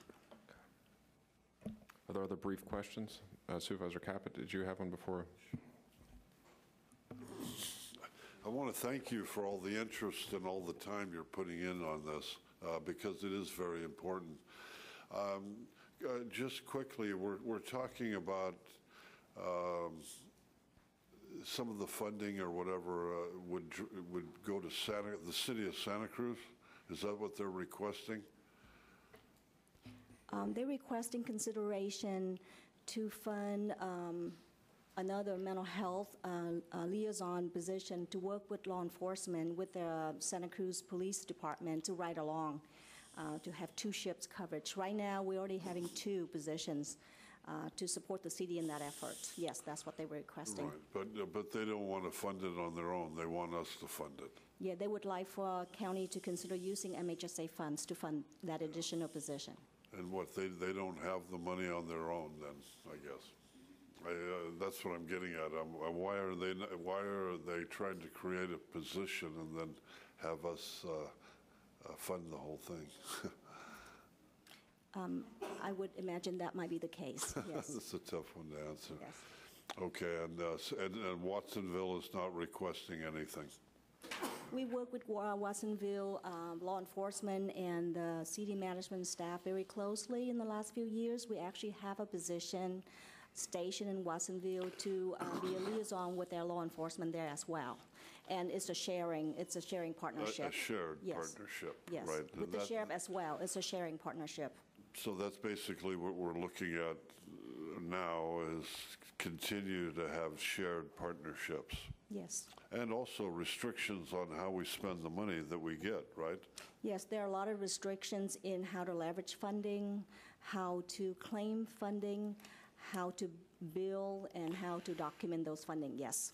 Yeah, and uh, I know I, we talked before, and uh, again, I, the, all the time and interest you're putting in this is wonderful Thank you. because it's really needed right now.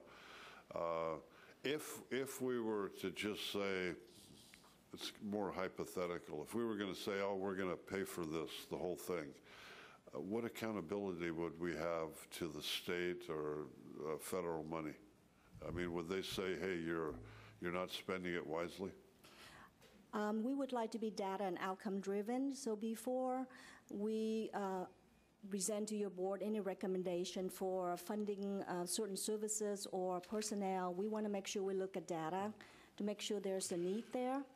And we also want to make sure all stakeholders in the community uh, would um, have consensus on those uh, needs. Sure. And so, and then we present to the state, and the state certainly would take a look at that as well and review it and consider it. And, and I guess uh, homeless issues are always tied in, tied in with this. This is the big uh, expense right now.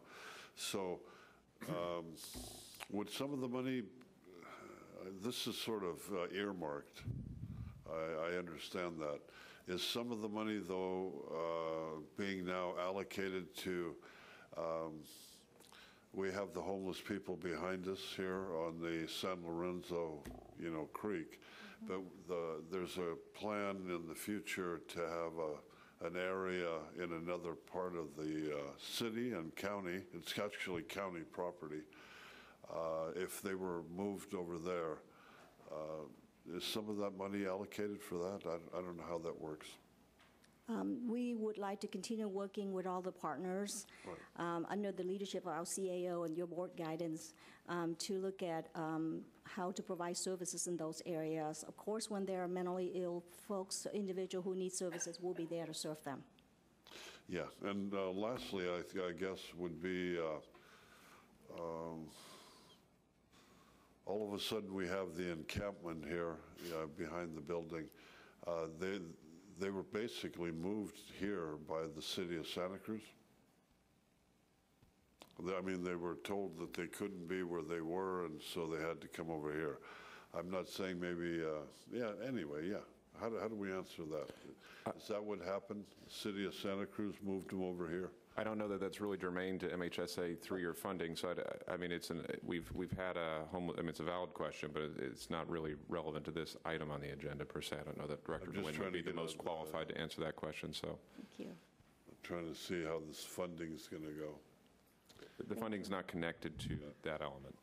Uh, If I may, we do have our staff from HSA providing uh, essential and mandated services in the air benchlands where the the homeless individuals are. We do have staff that go out there to provide services for public health and behavioral health services. Right. Thank you. Thank you. Supervisor McPherson. Yeah, from a a budgeting financial perspective, uh, I would classify this as nothing less than a volatile moving target.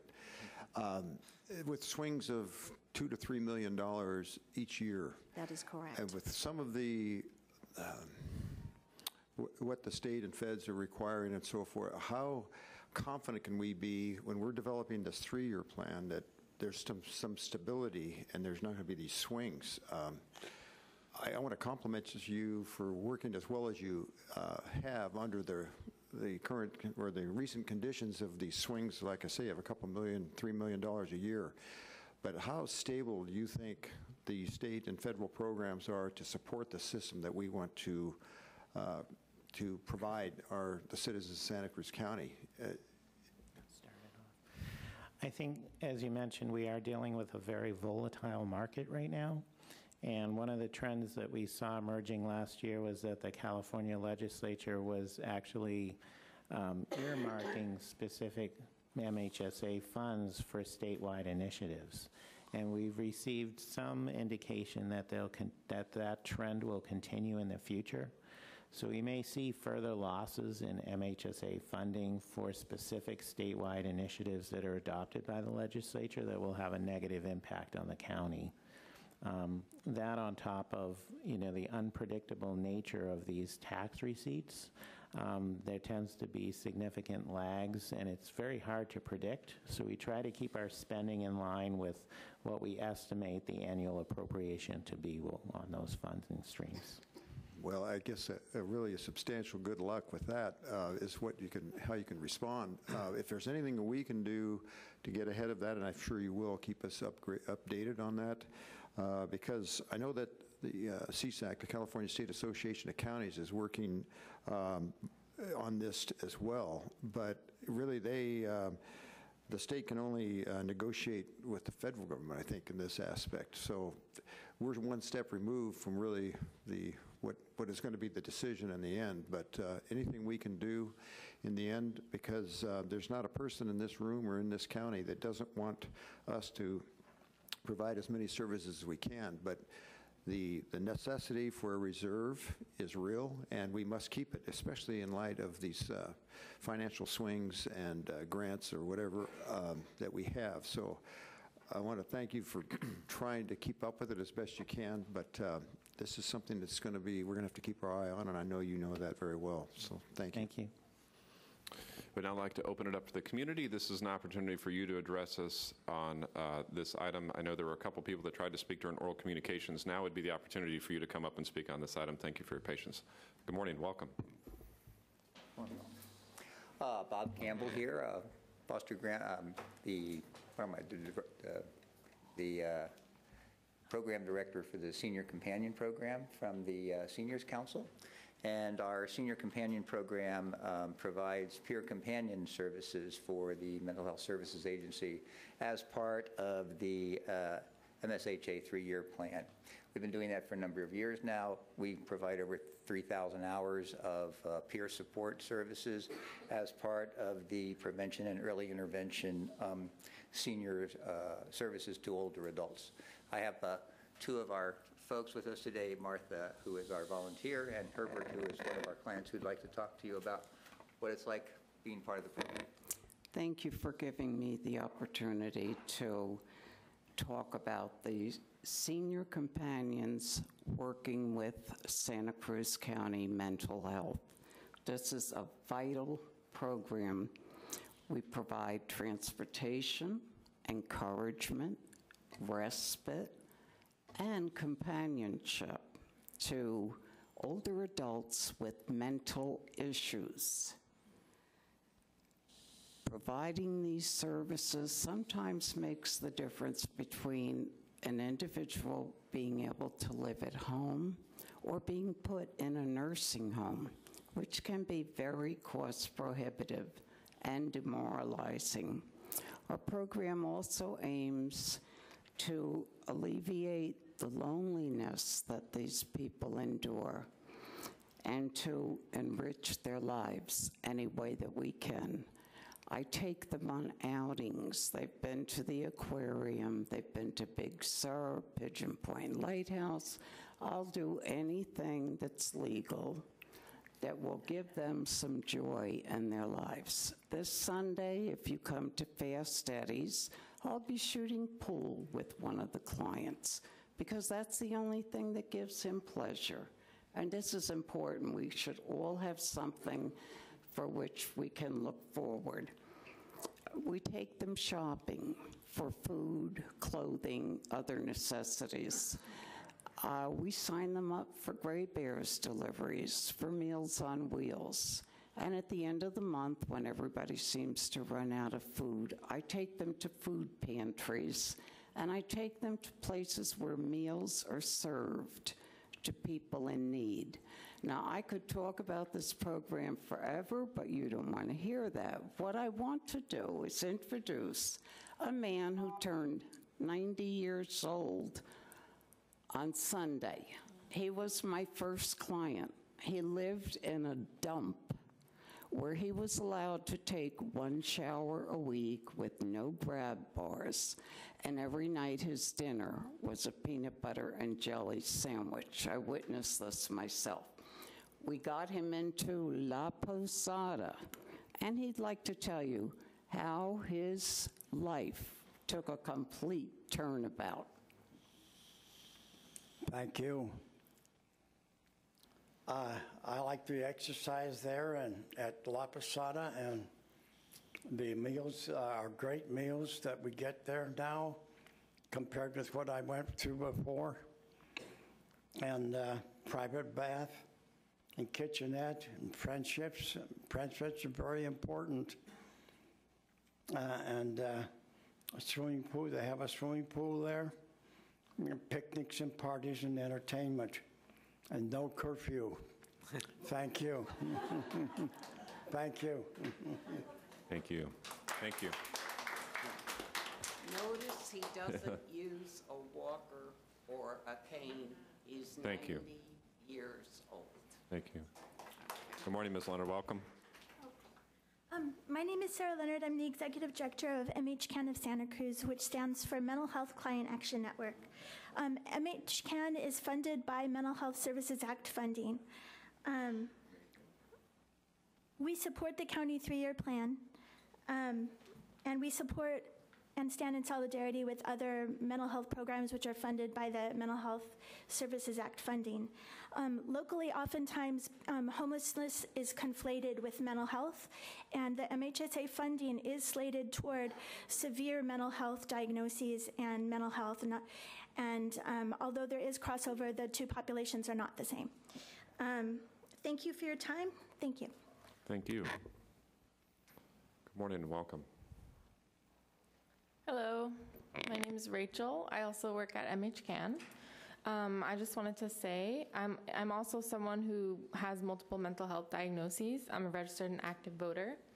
Um, I see every day I'm at work how these funds support the people who live in the city and in the county. Group therapies and community support, those are just two of the things that we offer at MHCAN that is, like Sarah said, funded through MHSA money. Um, the money makes big differences for people through funding these services.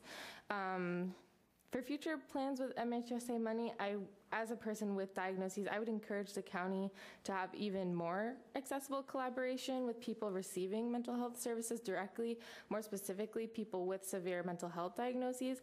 That being said, thank you for funding, and I do, um, I am overall happy with the three-year plan, um, and I believe that the county should remain in control of MHSA funding. Thank you. Thank you. Morning, Ms. Martinez, welcome. Good morning, Chair and members of the board. My name is Monica Martinez, and I'm the CEO of Encompass Community Services. I want to thank the county for your partnership. Um, Encompass is a large contractor that uses um, a number of MHSA funds to provide comprehensive behavioral health support services. Um, so that's both mental health services and drug treatment services for both youth and adult through outpatient and residential services. Um, and I can vouch for how incredibly important these services are to a very vulnerable population that oftentimes is overlooked and, and forgotten in this community. But it's also a very complex time to provide this level of services. Um, as you heard in today's presentation, it's a time when resources are really shrinking, um, regulations are increasing, and um, it's a very volatile time to provide these services. Um, to go to Supervisor McPherson's point, um, it's, it's, it's a very challenging time to be a provider, and it's important for us to start thinking about what our priorities are as a community and how we want to invest these resources. Um, I really applaud the HSA, the department, um, who's really focused on evidence-based practices, looking at data-driven solutions to these complex challenges. Um, we need to be looking at, at solutions that are cost-effective, that are really the least restrictive, so we provide our, our clients with the, with the opportunities that they deserve to really thrive in a, in a low restrictive um, program. Um, opportunities that leverage funds that come from the federal or the state, um, and that also support providers like Encompass and the other providers in this room to maintain our services during this really challenging time. So I support the plan, and I want to thank you guys for your partnership. Thank you. Thank you. Thank you for your work. Morning, Ms. Delaney, welcome. Morning. Um, I'm Karen Delaney with the Volunteer Center, and we've been we provide a whole host of programs to our Community Connection family of programs, and we too are strongly supportive of this plan and grateful for the partnership. Um, what I hope that we take away and continue moving forward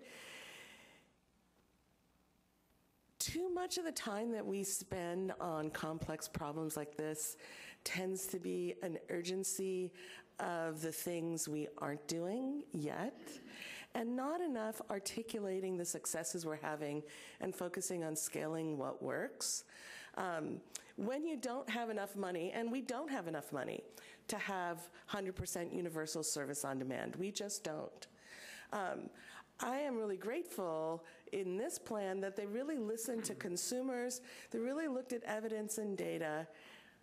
Hundreds of people are working today who used to be homeless and who, at the county, at the university, through our programs, we were able to leverage funds.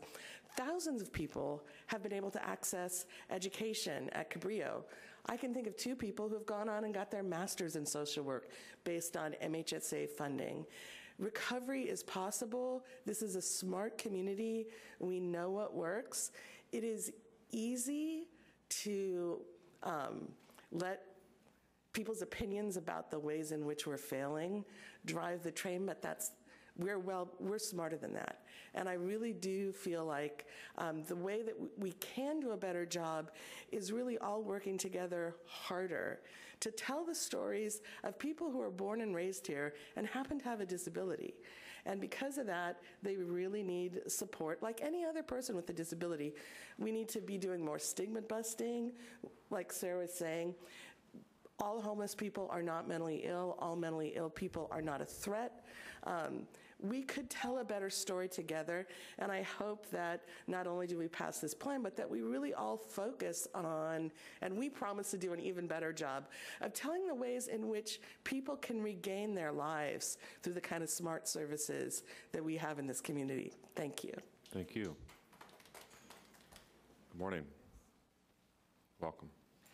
Good morning, Becky Steinbruner, resident of Aptos. I'd like to follow up on what Ms. Delaney just said and really highlight the successes. And I think we need to really give some accolades to the Homeless Garden Project that has really helped people kind of get grounded, literally, and to the wonderful um, MHCAN and the, the senior volunteers here that we, we've heard this morning. Those are great, great things that are happening in our community.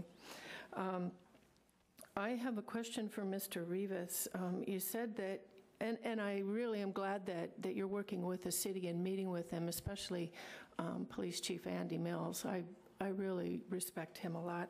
Um, You said you met with him February 12th, but this is only the 6th, so I wondered if that's a future meeting or what that is about. And um, also, um, I, I have a question how the No Place Like Home and the IHSS uh, changes will, how those, how those affect the, the program here by reducing them. I don't understand how that could happen. Um, So I'd like some discussion about that.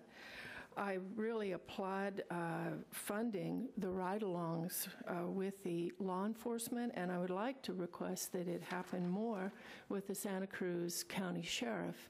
Uh, Let us not forget Luke Smith and how he may have benefited that night by having um, someone that recognized some of his mental health problems on top of what he was already experiencing with the drug uh, allegedly. And let us not forget Sean Arlt, who very much could have benefited by a ride along that night,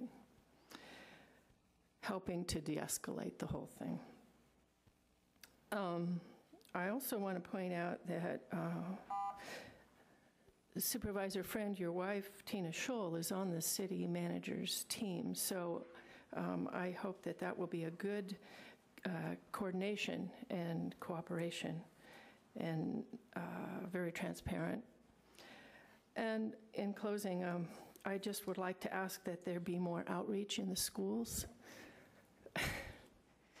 My daughter's friend committed suicide over the weekend. It's, uh, it's traumatic for the whole community to have a young woman take her life. And I would really like some uh, further outreach in all of the schools for suicide prevention. Thank you. Thank you for waiting. Oh, no, I'm a rookie, so sorry. Um, Good morning. Like I say, I'm around, I'll be quick because I'm around a minute away from getting a ticket. So um, I'm here to, to support the three-year plan. Um, I've been a volunteer in the county for the last three years with mental health, homeless issues. Um, The last year, I've spent a lot of time in Santa Cruz, the city, and um, they don't do a very good job. I would support to keep the money in the county, keep control of it, because even if they are doing a good job, who knows going to be in the council next year, two years down the road. So I think it's really important that we keep this a county issue and support the groups you are supporting now, because I think those groups are great. Thank you. Thank you. Good morning. Welcome.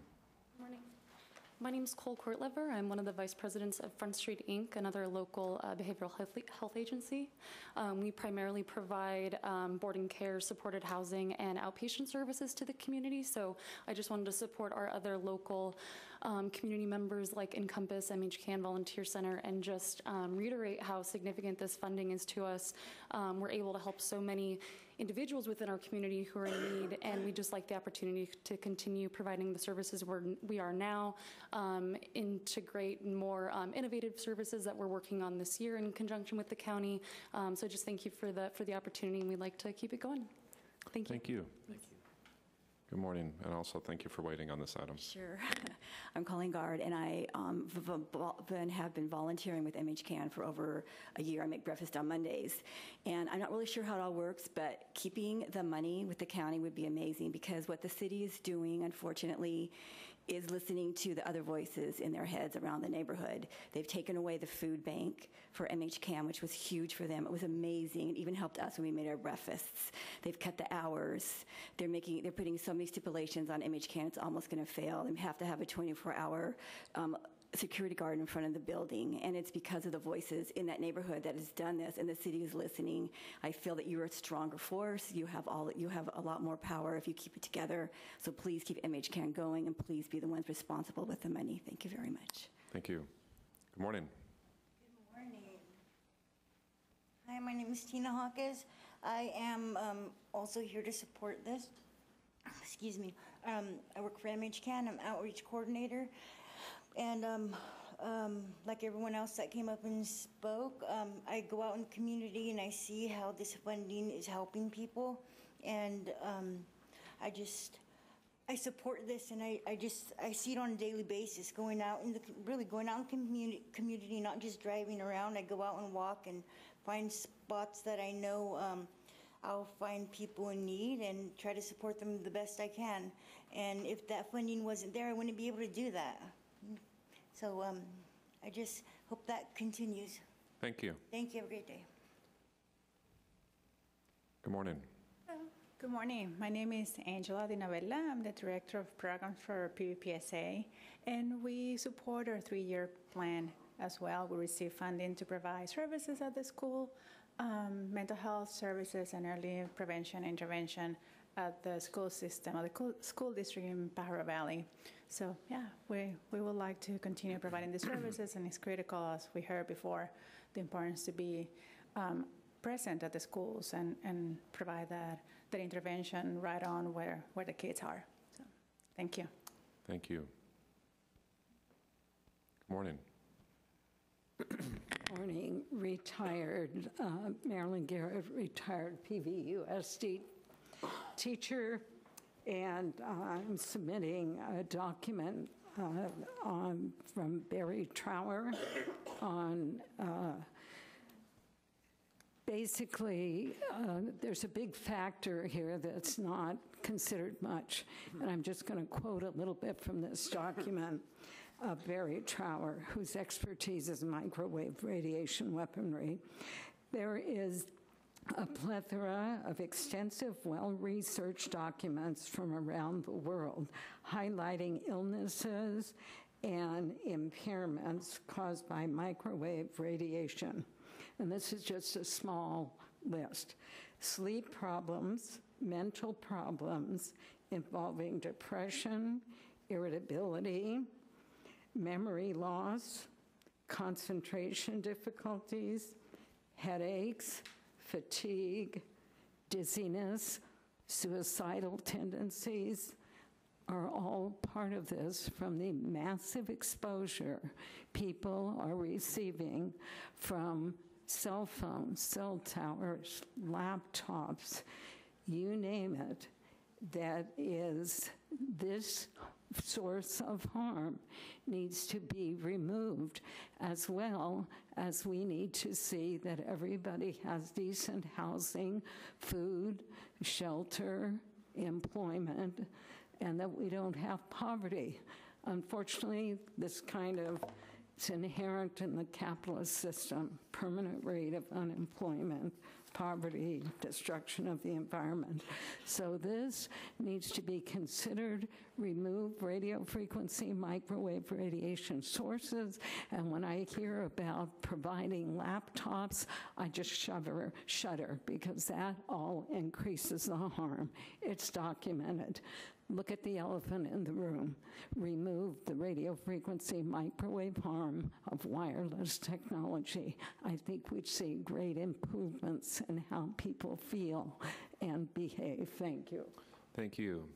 Uh, We'll close the public comment period and bring it back to the board. And just as a, just for a um, agenda knowledge, we do have a 1045 scheduled item. We will actually take that, that item next, so we'll take the probation item after that item. We'll take a five-minute break after this. It's a brief break for people to get set up for the 1045 scheduled item.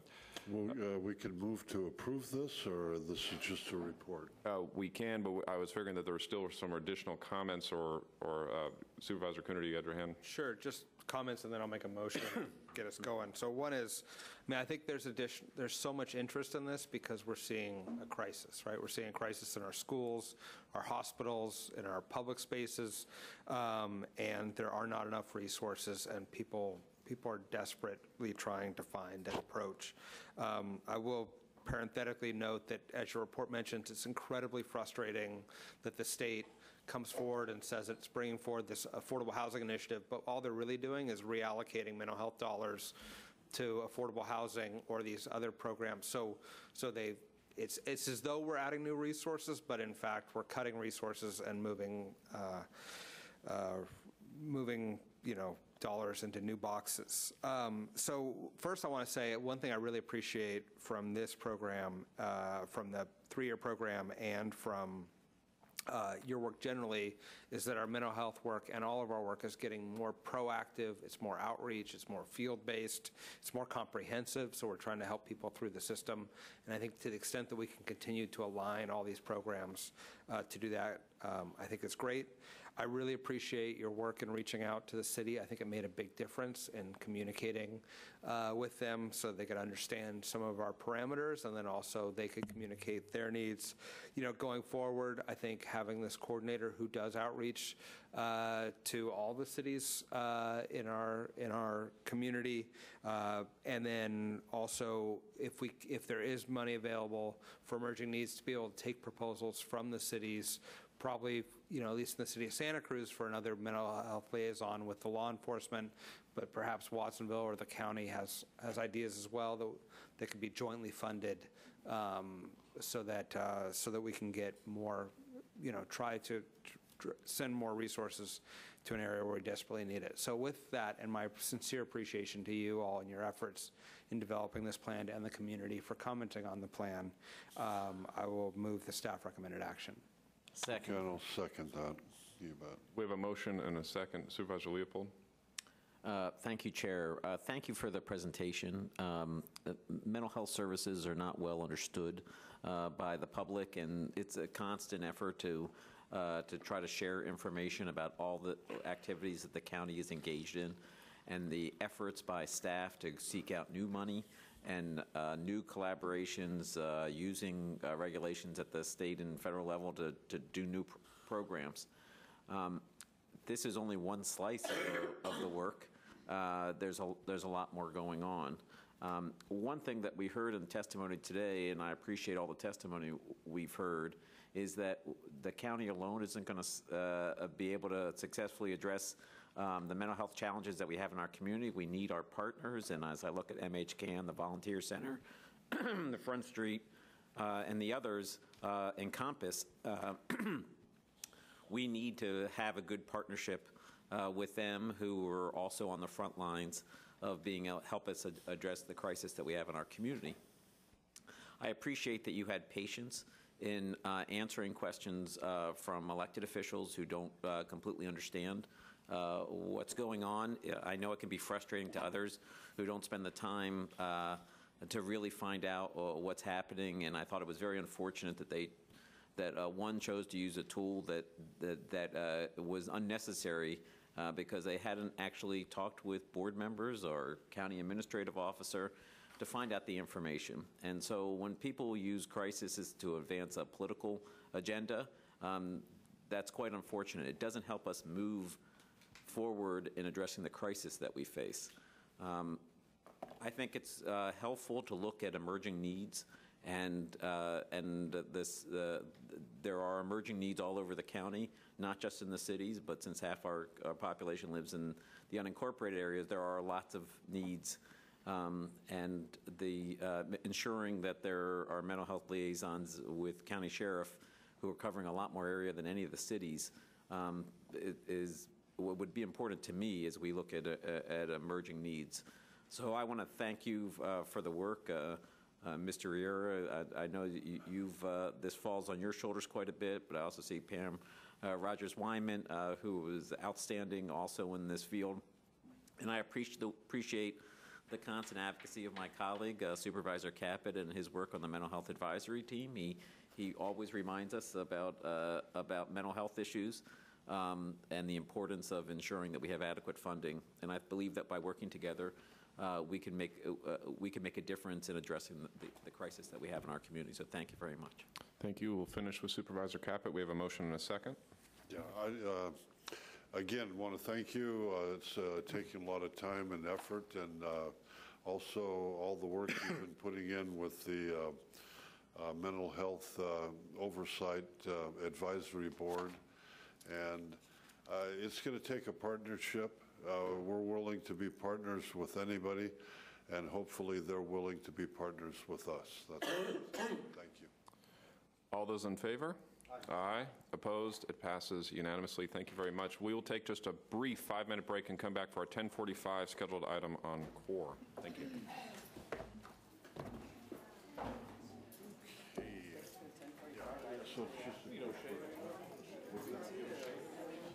It's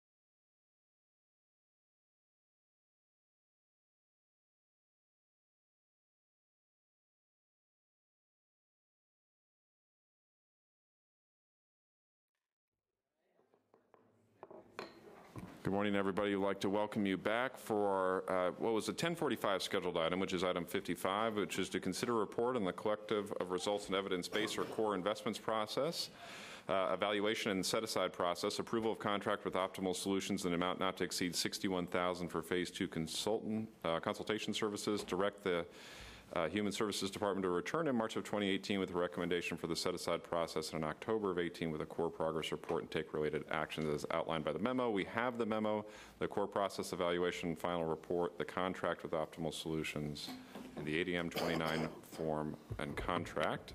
And we'll turn it over to Ms. Timberlake. Good morning.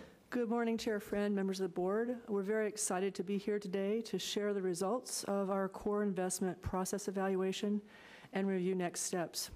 As you know, reflection and continuous improvement are key values of communities that are engaged in collective impact. The staff report before you today includes an in-depth description of the evaluation process and methods used to solicit feedback and suggestions for improvement from multiple stakeholders. Over 30 key findings are clustered into thematic areas which staff will summarize in a brief presentation. Before we start, I'd like to acknowledge the many, many service providers, strategic plan representatives, funders, and review panelists who took time to respond to our surveys and participate in our focus groups. Uh, their feedback has been invaluable, and we want to thank them publicly. Additionally, I'd like to acknowledge Susie O'Hara and the City of Santa Cruz for their partnership. Lastly, I want to recognize the hard work and dedication of our staff. The first person I'd like to acknowledge is Madeline Noya, our previous Planning and Evaluation Director, who many of you may know has retired from the Human Services Department. Her leadership was instrumental in the development and implementation of core investments, and we are deeply grateful for her contributions. Additionally, I'd like to thank Leslie Goodfriend, Tatiana Brennan, and our presenters this morning representing our Planning and Evaluation Unit, Shara Clinton, our Contracts Manager, and David Dabrowski, Senior Analyst and Project Lead for this evaluation. With that, I'll turn it over to Sharon David. Good morning, Chair Friend and members of the board. Check to see if your, if your microphone's on. You got it. The- It should be green. There we go. Good morning. Um, As Ellen mentioned, David and I are delighted to provide your board with a brief presentation on key findings from our process evaluation of core investments. After your board approved all core contracts in September, staff launched this process evaluation to answer the question, how did we do? Before we share these findings, I will provide some brief uh, provide some brief context by looking back at where we have been, and I will conclude with a summary of next steps. As you know, core investments demonstrates a significant local investment and a, and a change to focusing on results. Effective fiscal year 2017-18, your board, together with the City of Santa Cruz, are allocating close to $16 million over a three-year term that funds evidence-based programs and opportunities for innovation. So how did we get here? As this timetable reflects, your board has been thoughtful and measured in your approach to implementing this new funding model. Beginning in fiscal year 2014-15, you expressed a desire to evaluate and make decisions for community programs funding differently than in the past. At that time, you were interested in concepts like funding results and promoting evidence-based programs. To this end, you charged staff with studying local and nationwide models focused on collective impact. Based on the results of this research, staff identified these eight crit- critical features that are consistently found in successful collective impact models. These features are the heart of our approach. With these critical features in mind, in fiscal year 1516, we got to work. Together with other funders, strategic plan representatives, and service providers, we established the current model, including the identification of prioritized results within nine community wide strategic plans. Fiscal year 16 17 was a very exciting year, and we typically refer to this as, a fa- as phase one of implementation. During this phase, your board increased your investment in this funding stream by 10%, established an annual set aside fund, approved the issuance of a joint request for proposals with the City of Santa Cruz, and approved award recommendations for three year contracts effective fiscal year 17 18. At this point, I'd like to hand the present- presentation over to David Dabrowski, who will provide an overview of Phase 1 implementation and discuss key findings from our process evaluation. Thank you, Shara. The primary purpose of the process evaluation was to explore stakeholders' perspectives on the overall funding process, from the development of requests for proposals to the final signed contracts. A summary of this process is outlined on the screen. The following slides provide a high-level review of the process evaluation. A full list of the findings can be found in Appendix A of the report. As mentioned, our department sought to collect information on all aspects of the implementation process. In addition to exploring how stakeholders experience all facets of the funding process, we also engaged their perspectives about technical assistance as well as collective impact principles. In total, 32 findings were identified across these three thematic areas. In conducting the evaluation, we collected information from a wide variety of stakeholders, including applicants, strategic plan representatives, funders, review panelists, and staff. Through a combination of surveys, focus groups, and interviews, staff were able to analyze both quantitative and qualitative data. The following slides provide a high-level review of some key findings in each of the three areas. First, let's look at the high-level findings on the funding process. Starting with the application itself, we heard feedback that the process was open to anyone. However, many applicants voiced concern that the application was time-intensive and difficult to complete. In particular, identifying evidence-based programs, EBPs, was difficult and additional support would have been helpful in presenting evidence. Looking at the middle part of the process, there are a number of findings regarding application review and funding recommendations. Let's start with some feedback on the funding allocations. You may recall when we issued the RFP, staff recommended to your board that we mirror as much as possible the historic investment levels awarded under community programs. This chart shows the amounts of funding that were available for applicants to respond to in the RFP. As you can see, our approach differed from the city in that funding amounts were rolled up into four broad areas. This created both flexibility and challenges. As a oh. reminder, proposals came in requesting about $10 million.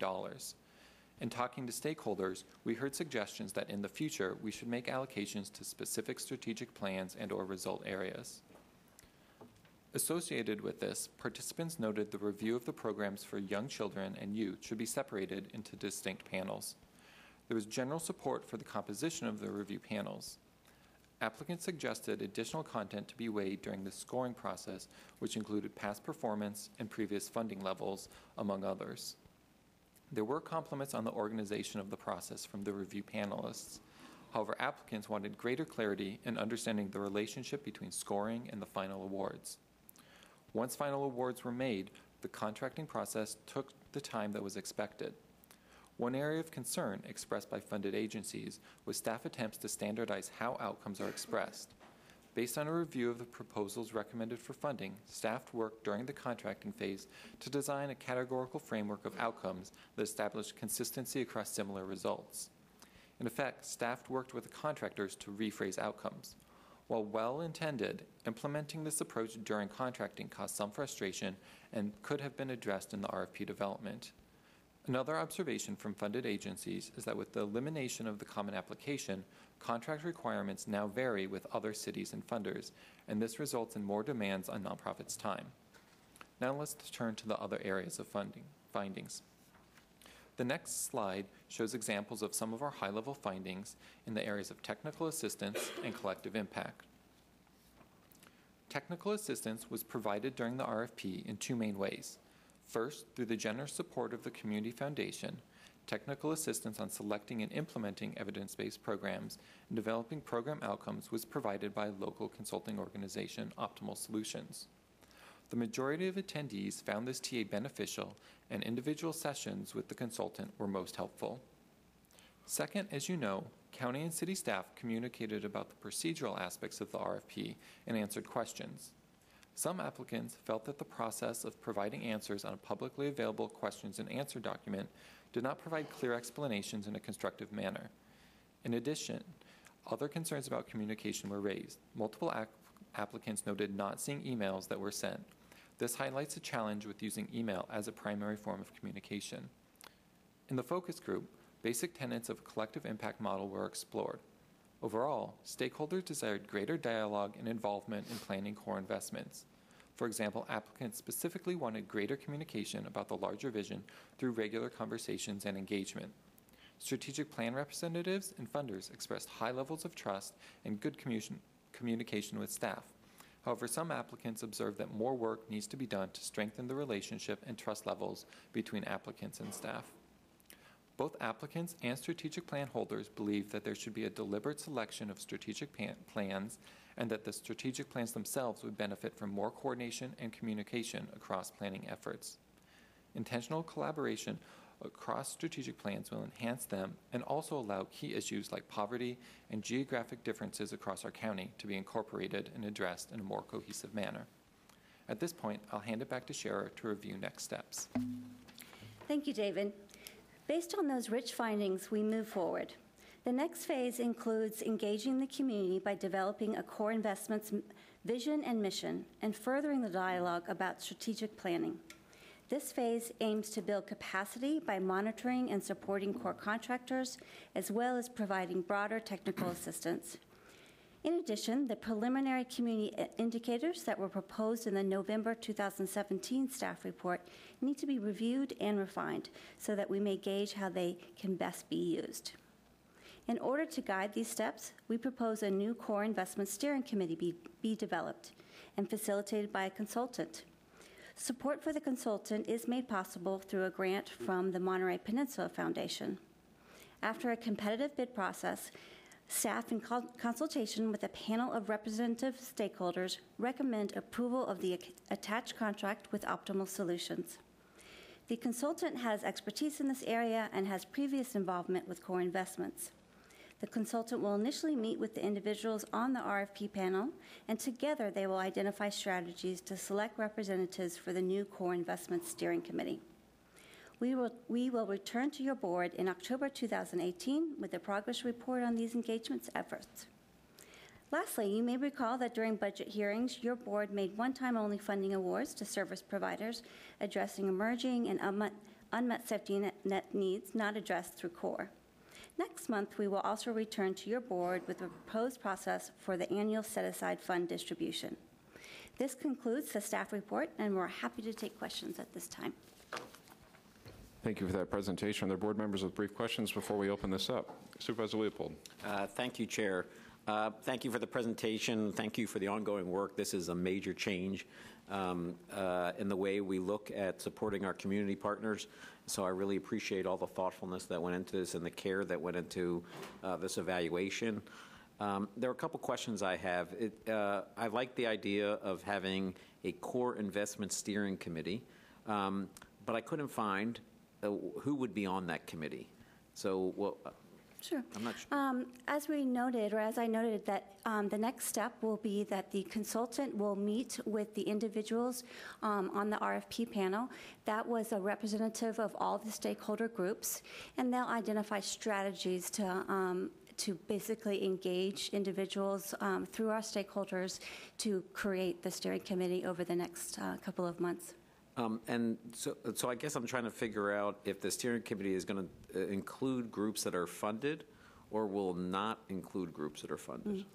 Um, I believe applicants um, would be included, but I'll turn this over to Ellen. I think that um, our view at this point is that the purpose of this steering committee is to continue the community engagement process around the broader vision and goals of collective impact outside of the specifics of the, you know, funding process per se, in terms of right now, we're in three-year contracts.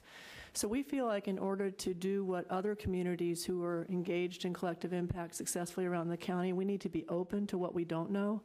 And we need to be inclusive of hearing the voices of both um, folks that are involved, are funders, uh, strategic plan uh, representatives, as well as uh, nonprofits and service providers who are doing the work. So I think our vision is absolutely that that voice needs to be heard. Yeah, I and think needs it's, to be included. I think it's great to be inclusive uh, Right. because we have a lot of experience to pool on. That's right. And uh, we're all, we're all aiming at the same target, Mm-hmm. basically. And so if we, the- the more we work together, I think it'd be better. Um, It was, uh, as someone who, uh, in, in a past life, uh, uh, filled out applications for uh, county funding Mm-hmm. and city funding, um, I, I know how difficult those former uh, applications used to be, and so reading about how intensive the, this application was, I had a lot of uh, uh, empathy for. Um, And I also, I appreciate that we, that we tried hard to provide technical assistance, and, and uh, um, I think that was great, and I think that that we've probably all learned a lot about how to best uh, support people who are choosing to um, apply. Trying to figure out about uh, uh, evidence-based practices, it seems to me that that's maybe something that could be an ongoing activity.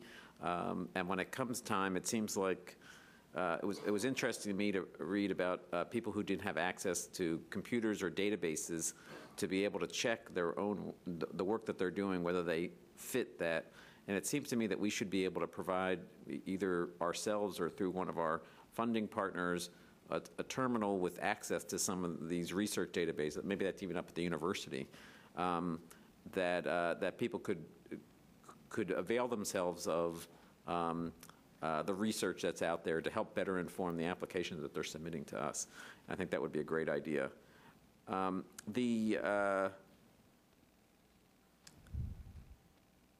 um, the question about uh, strategic plans, uh, and I like that they're going to be included, or uh, I think we call them strategic plan operators or something when we were doing this. Uh, The, as we look out um, in two years, as we start this again, do we have any expectation or awareness that any of these strategic plans are going to be updated by then? Are we having any conversations with those, the, the, the organizations that uh, initiated those plans about the updates? Uh, A couple things. First, uh, one of the first agenda items for our consultant is to convene the representatives who were so helpful in helping uh, your board identify prioritized results within each of those plans. It's imperative that we connect with those plan representatives to get a feeling for their timetables on when those plans are to be updated. Some of them are already in progress. I've uh, had individual strategic plan folks contact me directly. I've had several meetings because they're anxious and I think uh, are very excited to try to find opportunities by being by working together on what aspects of their planning process will there be overlap and can we think about doing differently to me some of the issues that were identified by our stakeholders really have to be front and center on our agenda, including, for instance, how is poverty being handled? How is poverty being addressed across nine strategic plans? We took a, a leap of faith in moving the community programs funding model to this direction by by recommending to your board that you not create your own strategic plan for $4 million, but that you look to the expertise and to the results and the community engagement present in those other plans, I think. So that, I, I think that that logic is one that we support, but there's a long way from a starting place to where we need to be, to be, to be really coordinating as effectively with those strategic plans as we can be. And that's not even to mention the fact that all the plans that are represented in core investment, it's, it's a point in time, and things change. Uh, the landscape is already changed. And so, how we as a community dialogue about the future of using strategic plans as uh, an investment, investing in the results of those plans, will require us to be open about a changing landscape. Um, Well, I, I really appreciate that perspective, and I think by having this uh, steering committee, you might also look to where those, where those junction, having those uh, plans work harder to think about where their shared goals might be, rather than individually ad- identifying their goals, uh, could help uh, make our collective impact funding uh, go that much further. Um, the, the last thing I'll just say is, uh, is a very hard uh, t- to define uh, issue of trust. You know, and whether people have trust. Uh, you know, there was, we, I know in the process of uh, creating the core investments uh, strategy, is there were a lot of questions. Um, there was, there was a lot of fear among many people. And what we, what I see in this is that there are some people who still feel um, as though they're, th- th- they weren't getting the information necessary. And I, I know from my conversation with you that you're committed to that, and I think that that's, it, it- to me, that this points out that it's going to be critically important to work on that uh, consistently over the next couple of years, so as we look at that in two years, um, that, that we've done something to, uh, to make people feel more included or trustful of the process. Um, It was uh, disappointing that the agencies that didn't apply for funding, who had previously received funding but didn't apply for funding, didn't respond to the survey request, because I'm, um, um, I was very curious as to why they didn't participate. Uh, No one's contacted me from any of those organizations, and I think it would have been useful to, uh, to understand why they, they didn't, whether the application being too hard, was it that they didn't need the money? Um, We just don't know. Um, But I appreciate the effort that you've gone to, to try to, uh, addr- uh, to, to find out the information here and address some of the concerns. So thank you. Thank you. Anybody else before we open it up for the community? Supervisor Caput? I want to thank you also for, you know, all the effort and everything you put in. Um, there- There's, a- there's a lot of good that's come out of this. I I think that uh, it could be better, but I I do see uh, uh, good that came out of, uh, you know, this collaboration, you might call it.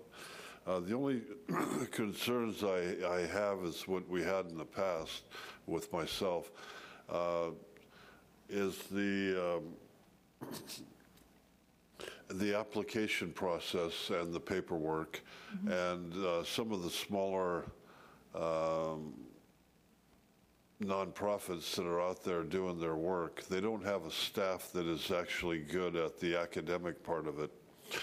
And uh, yet their work uh, is, uh, you know, outstanding. So I, I just don't want to see too much emphasis put on uh, grading the uh, semester paper. You're looking at it, and boy, this is really well written.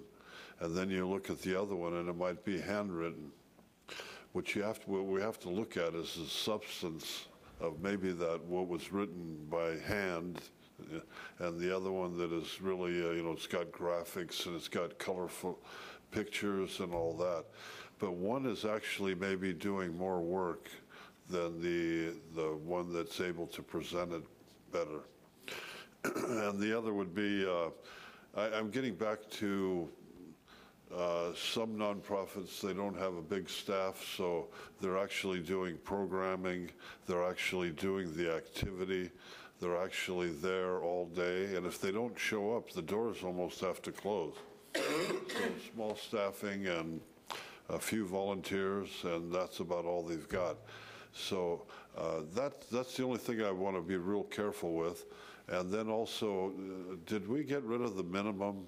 Uh, Is it still $15,000 or something as, as far as the The minimum? the minimum for the application for the RFP process was $15,000, and then, of course, we included, your board included a set-aside fund for um, emerging and other safety net needs that weren't addressed in the plan, and that's, uh, that was a maximum, I believe, of 35,000.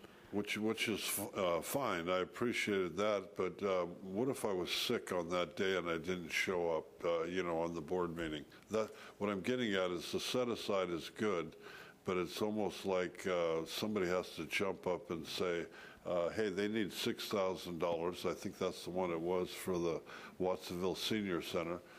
Um, I don't want to have to go through that every year. Well, one of the things uh, I think we're going to need to do is um, find new strategies for outreach and communication to make sure that when we do have opportunities for set-aside funding, that we do as much as we can and not just assume that people are going to be looking at the website. So we will actively commit to ensuring that a person who happened to be sick wouldn't miss that opportunity to submit an application.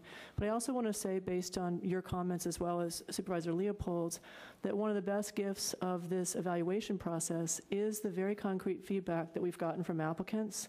So speaking specifically to the application, um, we will be able to take the feedback that we got, and we know that we have to make that application process both stay true to some of the uh, the core features that your board expressed an interest in including, but also get better at streamlining that. I mean, I- there were a couple of big aha and take-home points for us, so I think we'll be able to make that application smoother and less complicated the second time around.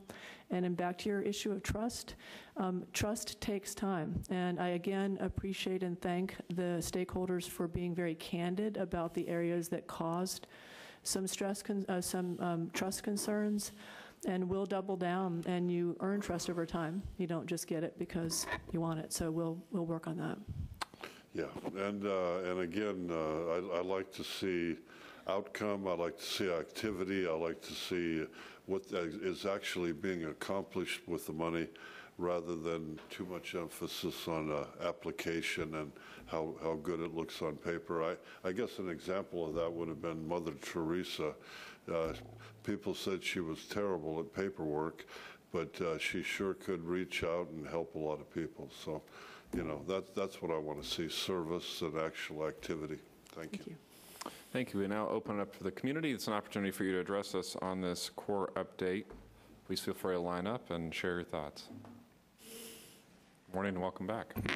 Thank you. Um, I'm representing the Human Care Alliance. We sent you a letter on January 4th. Um, First of all, I want to thank HSD. It has been really great to work in partnership with them on this. Um, our letter on the 4th was really talking about the next phase, moving ahead to the next phase, because we are all in on what we are trying to do here. And we, the three most important things that we want us to make sure we handle in the next phase are realizing um, how collective impact, successful collective impact programs actually work. And one of the things that was really interesting about some of the findings about uh, changing outcomes, we feel strongly that because we've got nine strategic plans and such a big portfolio, CORE really isn't one collective impact. It's too big for that. There isn't a single thing, goal or two that we can measure across all those nine plans. So we really should sooner rather than later. Job one is to get folks in the room and say, really, according to standards for collective impact, how many collective impact things are we moving towards? Because what collective impact measurement is about data. We have, as Supervisor Caput says, the programs already are really good at talking about their transactional outcomes. We're a year, we're half a year into a program on collective impact without having any big data indicators that we're moving towards. We don't have a shared data set. We don't have a baseline because across these nine strategic plans, um, the other thing that, so let's focus on, let's pick what are the five or six, is it four, is it six, is it nine that we're moving towards? In terms of data, and the strategic plans, some of the strategic plans are data based and some of the strategic plans are opinion based. And we feel very strongly that while there is a room for opinion, collective impact is about objective data. And that going forward, strategic plans that want to be included need to step up their data game. And that this is something, none of us can afford this kind of data on our own. So we really need to work together to be strategic about how do we measure what we're moving together, both picking the indicators, also talking about realistically how that maps to the investment. Because for some of the indicators, what we might, our, an appropriate goal might be in the next three years, we just want to hold the line on this. So we have a lot of work to do together. We are really excited to be, as the Human Care Alliance, to be part of the um, steering committee. We're grateful for this opportunity, but we have a big job ahead of us. It is just. The real work is just beginning. We're past the process and into really trying to figure out how do we measure the work that we're doing, and we are going to be a partner in that. Thank you. Morning and welcome back.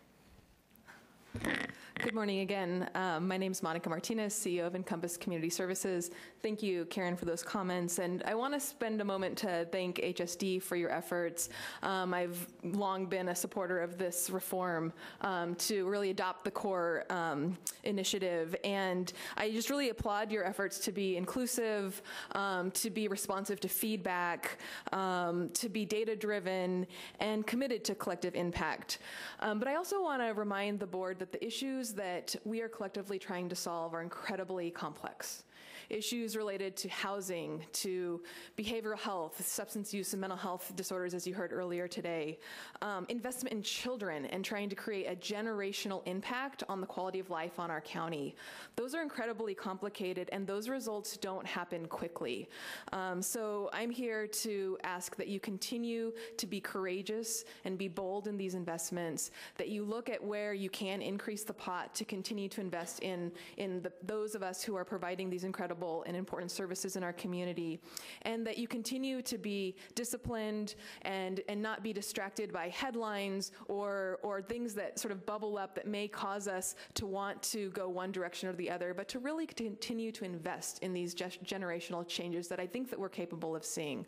So thank you for your efforts and your investment to date. Um, thank you to your department, and we look forward to being a partner in the future. Thank you. Good morning, welcome. Hi, Sherry Storm with uh, Community Dental. I'm also here um, to echo support for this whole process.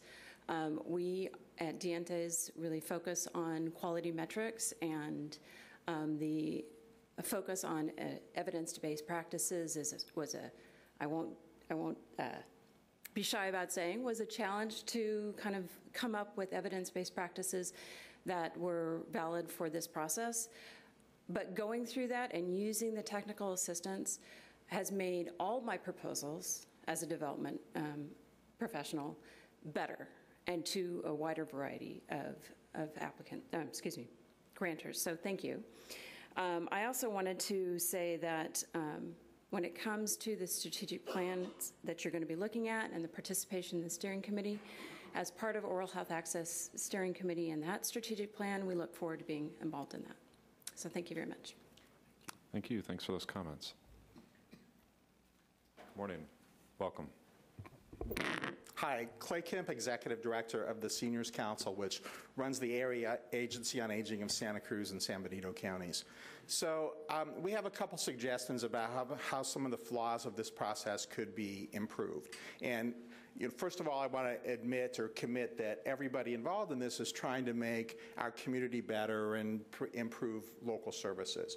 But there were some serious errors that could be corrected regarding the funding process for senior programs. And I think the first one is overall that the priority of who's funded should weigh, more importantly, the quality of service or the quality of the application more than the amount of funds that were applied for. And that can be seen in that the highest scored application in this entire process received a funding cut and other critical senior services that had very high scores like Meals on Wheels took a $120,000 hit.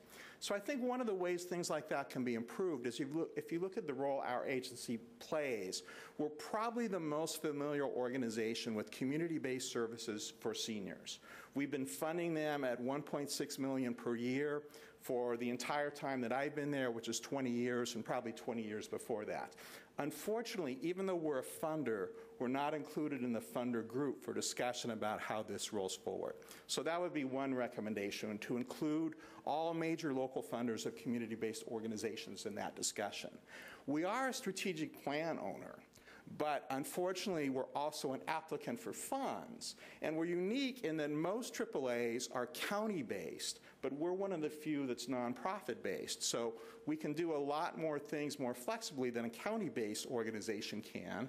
And we're also more cost effective at doing that. So I think everybody has agreed that that's a great model. But unfortunately, when we shift to core, that excludes us from being part of the review and feedback group, even though it's our strategic plan that's being funded. So we think an approach that you could take would be to take the AAA out of the core funding process establish us as a set alone. We're a mandated program, so you know if we don't do it, you guys have to do it, and that would allow our expertise to be at the table when proposals are coming forth that do things like cut senior network services, which is the kind of starting point for all senior services at a time when the senior population has grown 43% over six years. It, it makes no sense to, you know, take money away from the triage organization. And I really think those flaws could be corrected by merely shifting what our role or our relationship with the county is. We also don't compare well in terms of the outcomes and which strategic plan do we align with. You know, we write a strategic plan, so are we, you know, going to somehow fit into our own plan? It's more a matter of whether we are the AAA or one exists or the county takes us over. So Thank we you. hope you consider that. I'll just add also, there's Thank some you. great recommendations in the focus groups that I hope are seriously considered too. Thank you very much. Morning. Welcome. Good morning. Uh, my name is Sarah Emmert. I'm the Director of Community Organizing with United Way. Um, I'm here to communicate United Way's support uh, with this uh, funding model, um, to show our support with the county, and also really recognize um, HSD's commitment for quality improvement. I also uh, wanted to share that United Way is currently um, in the process of shifting our funding and grant-making uh, model and we're in communication with HSD to ensure the integration of critical elements from the RFP from the county um, that are integrated into ours. So, for example, the evidence based practice tiered model, um, some of the outcomes and measurements are just some of the examples. Um, with our new funding model, we are also holding uh, the all in strategic plan to end homelessness as well as the youth violence prevention task Force strategic plan, um, but we're going to be diving a little deeper to focus specifically on youth success. Um, but we will ensure that there is overlap between the results that we put out in our RFP and what's under core investments as well. Um, additionally, we recognize the power in leveraging um, outcomes and resources, both financial and human, through collective impact. Uh, so I wanted to communicate our commitment with partnering with the county and others to continue the conversations around collective impact um, and especially to increase community capacity around collective impact. Thank you. Thank you. Good morning. Welcome back. Good morning. My name is Angela Di Novella from PVPSA. I'm the director of agency programs, and yes, I'm here to support also this this model. Um, we appreciate the fact that we together can can build community and and we support each other in, in collaborating and, and moving forward with evidence-based practice models. Um, I also want to say thank you for providing the technical assistance support for South County agencies. Um, that was very valuable, even though um, we were there and, and, and, and you guys were available to, to answer questions and help us with the application and the reporting process. So I appreciate that, that you came down to South County. Um, and, and yes, I, I want to say thank you overall and, and hoping that we can continue working together and um, and overall emphasizing on, on the importance of outcomes and, and, and outputs as you were mentioning before that we together can build together so thank you Thank you. Is there anybody else from the community who'd like to address us? Uh, Seeing none, we'll bring it back to the board for action. Uh, Supervisor Coonerty? Sure. First, I want to thank you for the work, and it's really good to have this continuous improvement and this feedback loop so that on the micro level, we can build trust, get more efficient, get better data, get more information, and, and do it. I'm really glad that we're putting this effort, you put this effort in and, and are reaching out in this way and will improve. Uh, and then I just wanted to remind us that I think, you know, it's always good to keep in mind where we really want to end up uh, with this because you can get caught in the weeds a little bit. And I think this pot of money, as was mentioned, will not solve um, virtually uh, any of the very complex problems that we have. But uh, when we look at the data and we know how many homeless vets there are, and we know how many seniors are going out food, and we know how many kids don't have dental care, and we know what third grade reading levels are, we know all that in our community.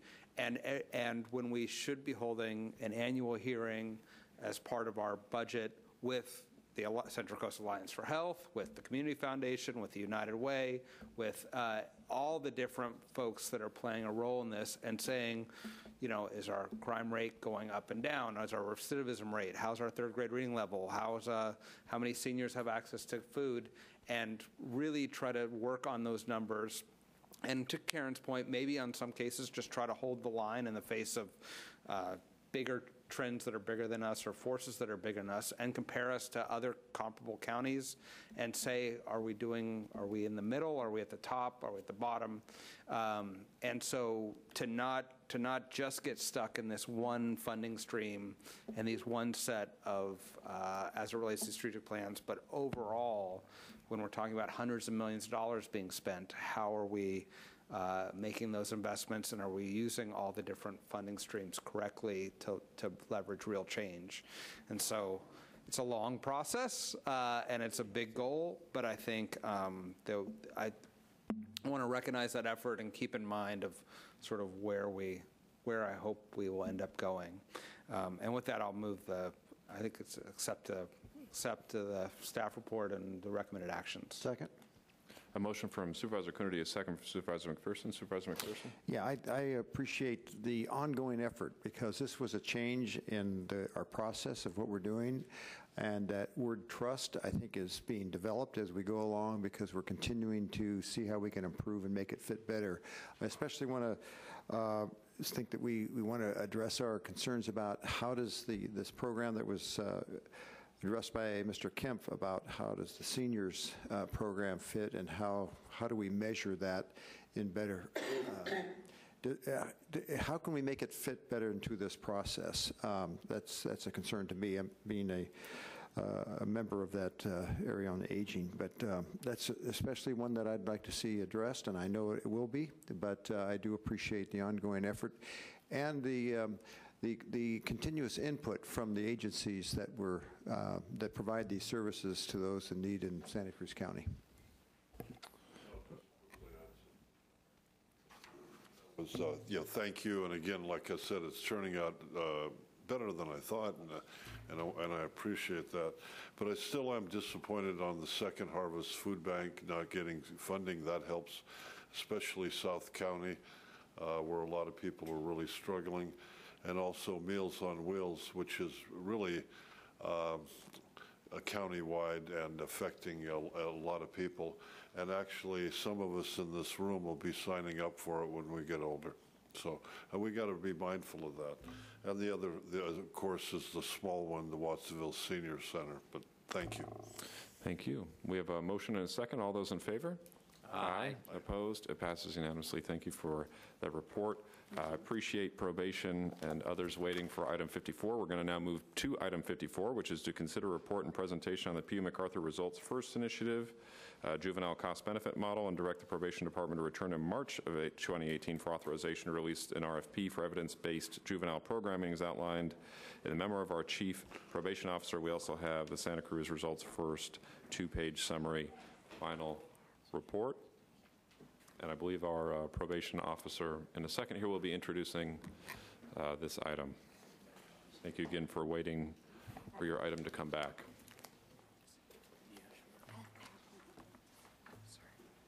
Oh, good morning. Good Morning, welcome. Thank you.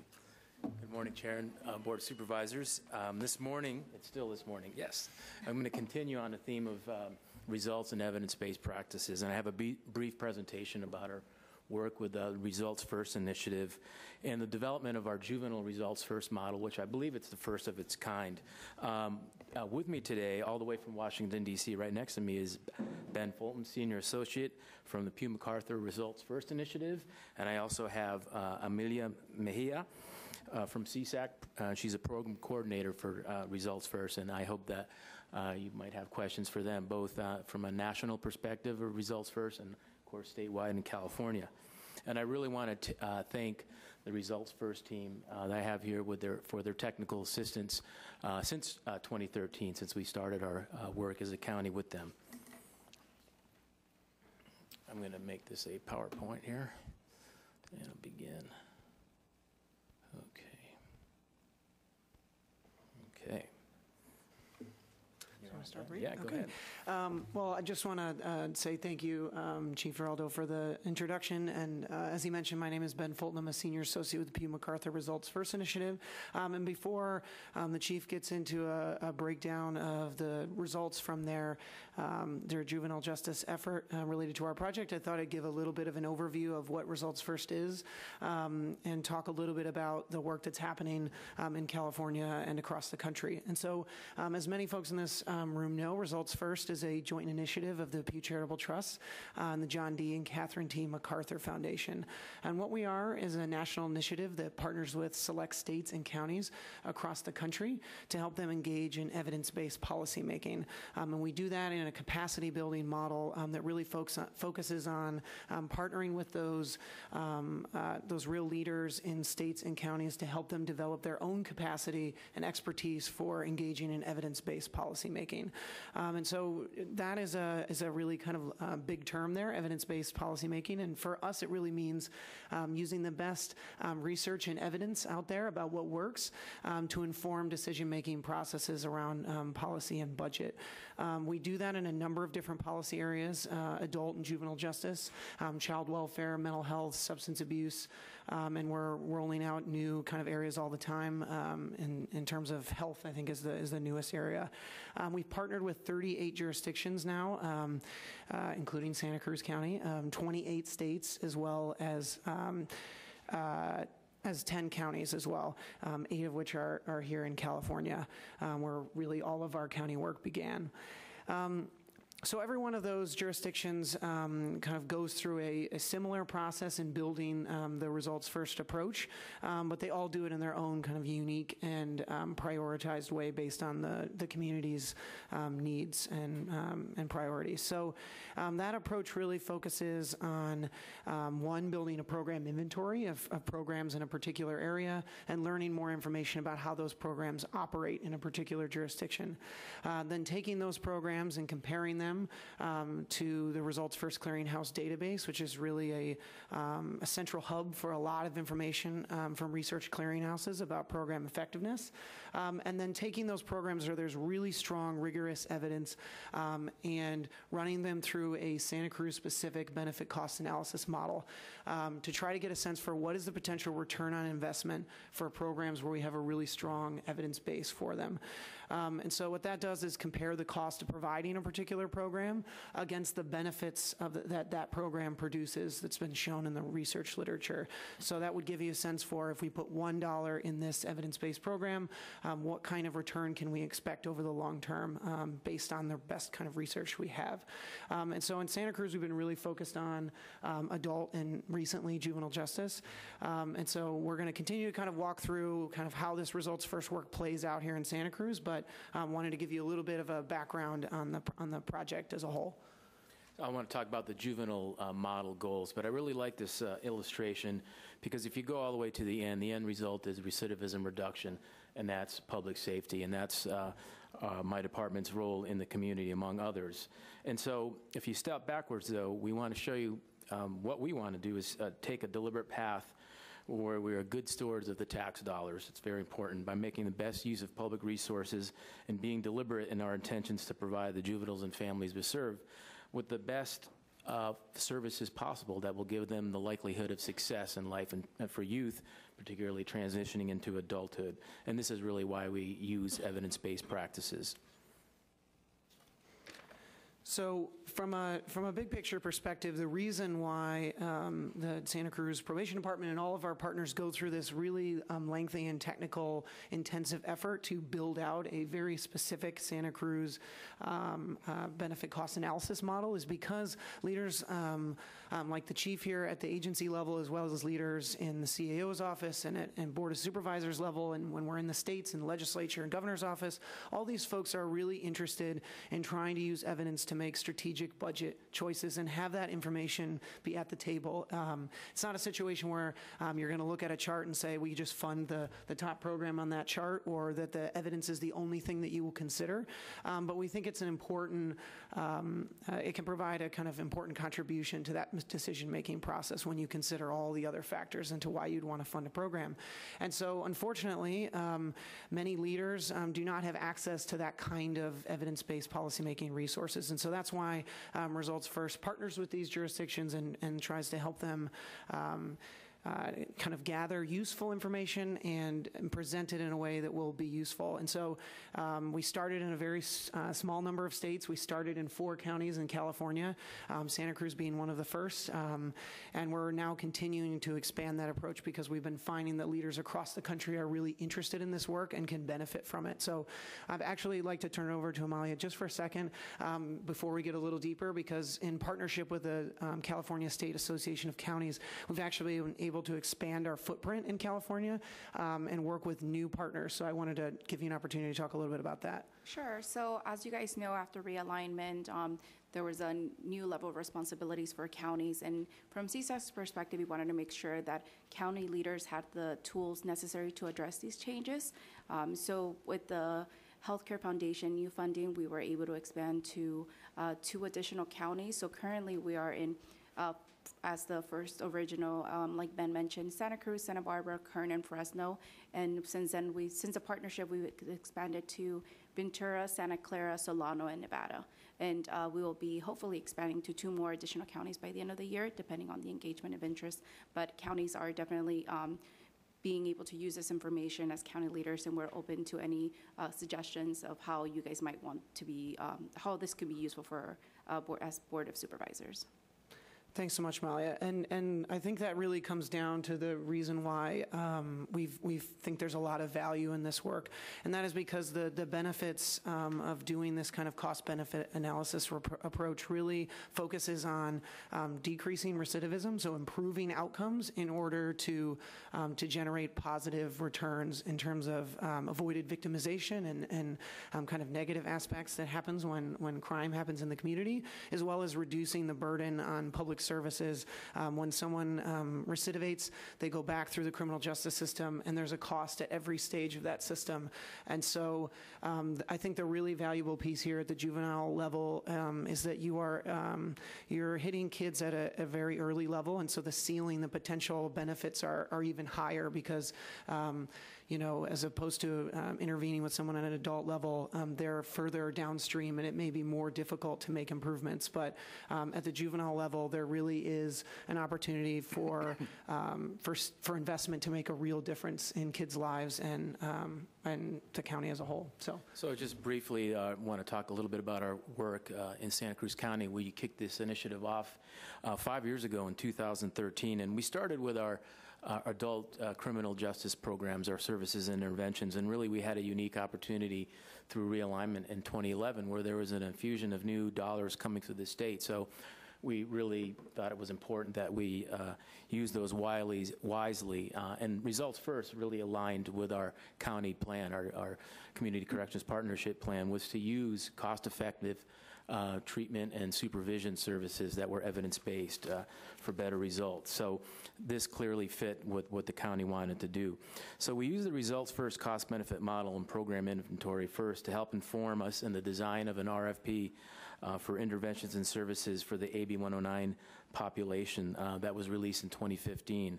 Um, and as we began new contracting for adult services, we included new requirements that included prioritizing evidence-based practices, um, and we knew that after we were doing that, the next step was to introduce results first and to the juvenile uh, model. Many of the providers, um, provider network and AB 109 also provide juvenile services, so they are uh, familiar with the steps that, that, that we're taking and the direction we're going, and, and, and clearly many of them are also um, part of the core funding model. Uh, these are the key findings um, in our, uh, as we developed our juvenile uh, model. Juvenile recidivism is expensive. The average cost of a conviction is over $100,000. This includes cost to victims, the cost of lost earnings, disruption in educational pathways, the cost of arrest, prose- prosecution, incarceration, etc. So this is why it's important that we invest in interventions that have the highest likelihood of reducing recidivism. Earlier in- intervention, evidence-based programs can re- reduce these recidivism costs. For every dollar locally, um, according to our model, we know that the return is anywhere from uh, $2.31 to $32 that we, uh, that we can invest. Our juvenile alternative uh, to detention program is, is seen there as a highly cost-effective program with excellent public safety outcomes. This is why we continue to invest in these type of beneficial programs. This slide shows an excerpt of what uh, we call a results first one-page inventory that uh, it took about a year to develop that, but it was well worth it. This is uh, hot off the press, and we plan to use it to guide decisions around the types of programs that we are currently using and or plan to use in the future. Um, we selected aggression replacement therapy as an example to highlight to show our, how our program inventory works in terms of cost benefit analysis, uh, return on investment, and recidivism reduction. It took me a little while to figure this out, but I, I think I have it. Um, ART is an evidence based cognitive behavioral intervention that my staff are trained in. Um, and it's inexpensive. It's $600 per youth, but the cost avoidance is just over 8,000. Again, that cost avoidance is in realized cost to victims, the community, arrests, again, et cetera. Um, we can see from this uh, that for every dollar we spend on ART, we get a $14 return on, on investment. So this, this example here we've already used, uh, it helped us determine that we needed to increase ART and expand the avail- availability to, uh, to our youth because we were only uh, serving about roughly 15 participants, so we've, we've expanded that. Uh, This, this is again another uh, part of our results first inventory. Um, The local programs are, in green, are our local programs. Um, And we match these to the highest rated programs in the Washington State Institute for Public Policy inventory, and that have the highest return on investment and show a significant likelihood of reducing recidivism, in some cases by up to 10%. Um, Included in these highest rated section are, is vocational training, um, ART, aggression replacement therapy, uh, restorative justice programs, and cognitive behavioral programming through uh, the Forte model. So in Santa Cruz, we have four, four of our local agencies already delivering these types of services. So the models already helped us inform uh, the scope uh, of work as we um, have, go from year to year with new contracts. So I'm going to wrap up our presentation really um, with recommendations. Uh, It's clearly evident uh, to us that programs and services uh, that are rated highest and effective to reduce recidivism is something that we should uh, use our juvenile justice dollars just like we do with our adult dollars. We'd like to maintain and expand existing programs like ART, um, want to recruit new services and programs that are out there, or work with our partners perhaps to redesign some of their current programs to meet uh, the emerging needs and trends. Uh, much of the, the way we are spending our dollars in juvenile justice is re- remained relatively unchanged over the last 15 years. Um, um, and I, we really feel it's time to, to make a significant shift because there are um, just different emerging needs that we've discovered, new evidence-based practices, and, and our partners have, have uh, been there with us and have been um, uh, uh, willing to adjust what they're doing. So we um, are, want to talk about um, what we're recommending to the board. We would like to, um, through an RFP process, um, really align services to risk and needs and make program improvements and, and prioritize our funding to evidence-based practices to achieve outcomes. So we would like to recommend that we return to your board in March um, with a, a draft of a request for proposals that we plan to put out, um, much as we've, similar to what we've done, of course, for uh, realignment dollars, uh, and similar to the core, and taking into consideration what we've learned from you know, the experiences in core and realignment. Um, I know there's always concern about the amount of work that our providers would have to do with applications, but we want to keep it as simple as possible. Uh, and I am confident many of the same providers will continue to, to be able to serve our youth. Um, so with that, um, that wraps up my presentation, and um, was wondering if there are any questions. Are there any brief questions from supervisors before we open it up? Supervisor Leopold? Uh, Thank you, Chair. Uh, Thank you for the presentation. Uh, The the ongoing work that we're doing with Results First, I think, is is is critical work. It get- lets us uh, uh, show the value of the investments that we make. I'm really glad to see CSAC uh, as involved, because I think this uh, should be a standard uh, in California. So uh, I'm glad that we were uh, uh, early adopters of this. Um, I wonder if you could say something about the recidivism rate. Sure. Um, uh, the numbers here, I, I, I- don't have any, I- don't, I know the adult numbers slightly better, so I can't tell whether these are um, uh, state average, better than the state average. What, what, what does this tell us? This is, um, and this is the first time we've done that. We did a six-year analysis of a cohort and looked at the recidivism rate for a period of six years. Um, and we know, so we determined that 33% reoffend. They have an adjudicated offense within the first year, and that's that's about normal. And uh, and are working with our um, technical assistance team. But what this does is establishes a baseline for us, which we just haven't had. Um, and I could say that of those that recidivate within the first year, uh, 70, about 70% are misdemeanor offenses uh, and 30% are felony. Um, so that's, while they're misdemeanor, still um, obviously uh, a, a crime. Um, I'm happy to report they're not felonies, you know, or person-to-person crimes. Uh, so, um, but we'll, we're going to be able to compare ourselves as we move forward. We have the, the tool uh, and the inventory to de- determine this. How it compares to the adult uh, system is um, the la- it was about 32%, It's very similar within the first year. Sure. Um, but we want to, clearly, what we want to do with this tool is, is reduce that. I mean, it would be remark, obviously, the goal, the gold standard would be zero uh, recidivism, but we know even reducing it by 10% is, is very significant, and there's a, a good return to the community, so that's what we're shooting for. Yeah, when we look at recidivism rates of adults, don't we usually look at it a three-year uh, period instead of a six-year period? Why, Yes. Why are we looking at it this? This is the, uh, the, you, Do you want me yeah. Yeah. So in terms of the way the model works, um, it, it, it does, um, our definition of recidivism um, and our kind of term is, is a little bit different than maybe the way a lot of states and counties generally look at recidivism rates, generally in kind of a three-year um, section. And the reason for that is that the, the model wants to um, uh, realize the benefits that occur over the long term. And so the longer the recidivism period that you look at, the longer the model is, is able to estimate the benefits of that program. So um, the longer, there are some states that have, that have looked at 10 um, in Washington State. Um, I think there are over 20 years now of looking at um, that same cohort over 20 years to see, um, again, um, what the benefits of these programs are as they accrue over time. And so um, the other the other thing I would note is that when it comes to juvenile versus adult recidivism costs, is that you are looking at kids as they move from the juvenile to the adult system. So some of the benefits that accrue for those programs will be in the juvenile system because you will be avoiding um, some juvenile crime, um, but you're also looking at the benefits of avoiding some adult crime as well. And so that longer um, kind of period that you look at it means that you can kind of estimate the value of avoiding some of those things later down in the years.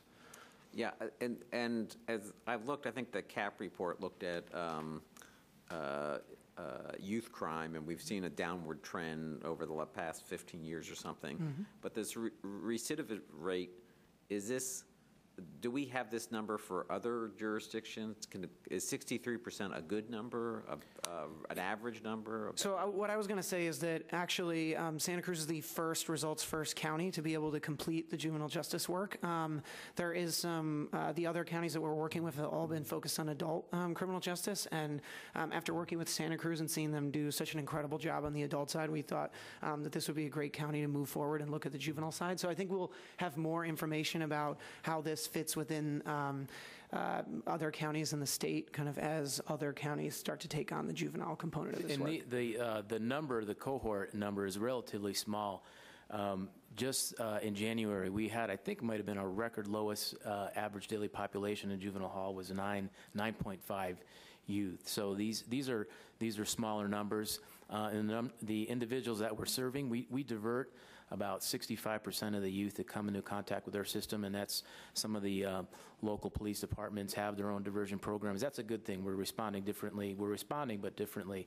So, the, but the individuals we are are getting now and supervising tend to have a really a combination of high high criminogenic needs and, and just high needs in areas of you know substance use uh, and mental health. So and they, and they risk, according to our risk level, about moderate to high risk to recidivate. So we're smalling, serving smaller numbers, but they are um, coming to us with more chronic issues. But that's how you know you should reserve your uh, resources. No, no, I, yeah. I, I totally agree with that. I just think it's it's hard.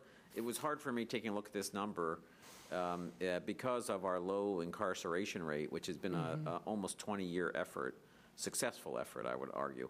Um, that that that those who end up in our juvenile justice, you know, in, in juvenile hall, are the people who are supposed to be there for the most part, and as you say, they might have higher criminogenic um, uh, needs or behaviors, and so th- this might skew that number. And I'm, I was just, that's what I'm trying to get some sense and, about it. And the risk, you know, when you do this level of analysis, when no one else has done it, is you're the first out there showing this this data. And but the importance of that, I think, is that we have a baseline we can look to achievable to achieve a, a reduction in that. So. Um, that's sort of the, the caution. Um, and so, and we want to make sure that when we compare ourselves to other counties that we, we're comparing apples to apples too. That tends to happen a lot. How, do- how do we look? And then we determined that they were using a different me- methodology, but at least with the results first cohort, co- cohort that uh, will have similar methodologies. Yeah, uh, the last thing I'll say is that uh, when I look at this cost of recidivism, my memory of from the adult, this is almost three times as much as uh, as the cost of recidivism of adult, and so uh, we'd be wise to continue to putting our resources there, because that's not only um, uh, uh, the best opportunity for us to to uh, to help correct behavior or, or get support, but it's obviously going to cost us a lot more in the long run. Yeah, the, the adult recidivism cost uh, uh, was $42,000 Yeah. from the, the model. Yeah, so my memory isn't So- as bad as I thought, but. Yeah, it's good. Pretty close. Impressive. And I Thank know you, there's, sure, there's a brief question from Supervisor Caput, then we'll open it up to the community on this item. Yeah, uh, thank you uh, for all you're doing. Uh, A quick question on gang uh, intervention with uh, youth and all that. About how much time is spent on that, and maybe a quick description of how it... Great question. I, I- really, I was, earlier, I was talking to our team about, you know, when I, when I, you know, uh, as a parent, do provide supports for my, my children, um, they're very similar to what youth that are involved in gangs are. Those, those uh, connections to adult role models, consistency, um, and, and uh, the, the support, educational support, and so on. So all the programs that we utilize are, are have components. They don't necessarily call it gang intervention program because I'll tell you, most kids aren't going to show up if they had a sign that said gang program. But what appeals to them are the pro-social activities, the connections with adults. So a lot of time is spent um, in activities and interventions that are going to address the root causes of whether it's gang behavior or, or other types of delinquency, it's very similar. It's really, you know, our young people falling through the cracks, falling in, at school, not having, you know, connections to adults, the supervision, um, you know, socioeconomic conditions can contribute to that. So uh, I would say that most of our programs have components. While they don't say this is gang intervention, just because it would probably not be attractive to, to kids, they're, they're doing that.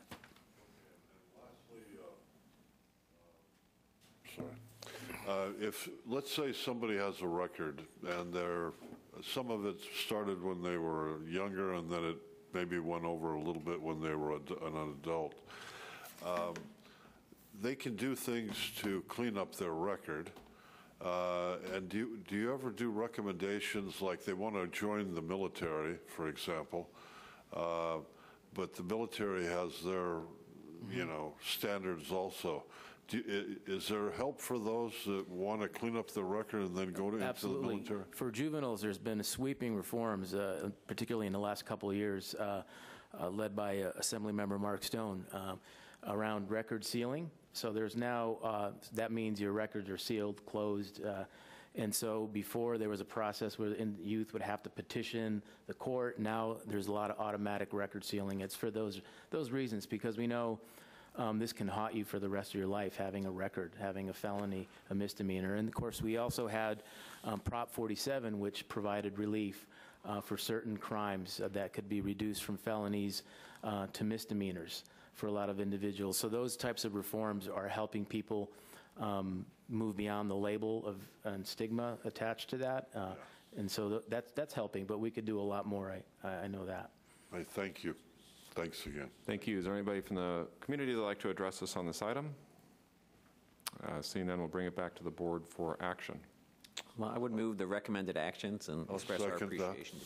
We have a motion from Supervisor Leopold, a second from Supervisor Caput. All those in favor? Aye. Opposed? It passes unanimously. Thank you both very much for that. We'll move on to the two pulled items from earlier today. We had item uh, 14, which became 55.1. Item 14 is to accept and file the whistleblower hotline activity for 2017 as recommended uh, by the Auditor, Controller, Treasurer, Tax Collector. Ms. Steinbruner, you pulled this item? Yes, I did. Thank you. Becky Steinbruner, resident of Aptos. Um, I have uh, reservations about the effectiveness of this program, and I would like a discussion of its history, what, what actions have come out of it. Um, I was interested to find out that all uh, whistleblower um, report, reports submitted are first reviewed by uh, Ms. Driscoll's office. And so I would like to know, and, and I'm asking for, what criteria um, that office uses to determine whether a whistleblower report is uh, further investigated or, or how is the best way to handle it. I am concerned that if, and, and I I read the report that a number of things that were uh, whistleblower reports were referred then to the department for which the problem exists. And I don't think that we can really expect a thorough investigation, maybe not even any investigation at all. And so I would like to ask how that has worked in the past. Is this a new program?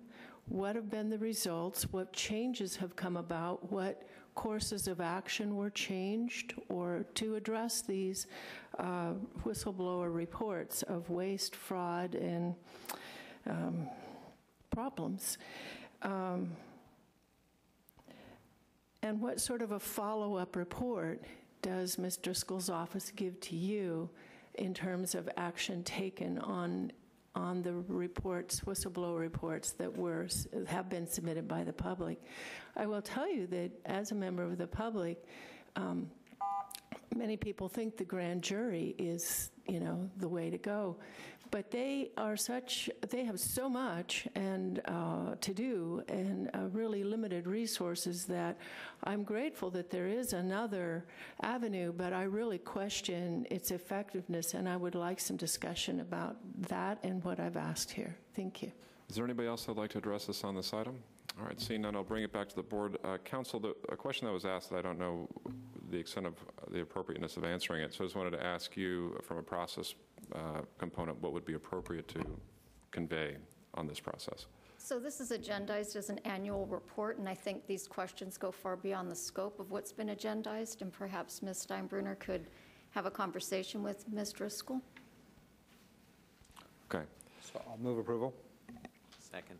There's, the point of uh, doing what I there's a just motion and a second uh, from Supervisor Coonerty and from Supervisor Leopold. Um, Ms. Driscoll, you'll commit to a conversation with Certainly, Ms. and I'm Steinbruner? happy to provide a, a little history if that's beneficial. Okay. Um, All those in favor? Aye. Opposed? It passes unanimously. Move on to item uh, 55.2, which was pulled item 17. This is approved plans and specifications uh, for the Davenport Communications Tower installation project. Direct the GSD to advertise for bids, set the bid opening for 3 p.m. on March 6th, and then GSD and take other related actions as recommended by the interim director of, of General Services and the director of Information Services. Ms. Steinbruner. Thank you, Becky Steinbruner, Aptos. um, I'm, I'm interested in supporting uh, good public safety communication on the North Coast. Um, I'm a ham radio operator, and I know that that area is problematic.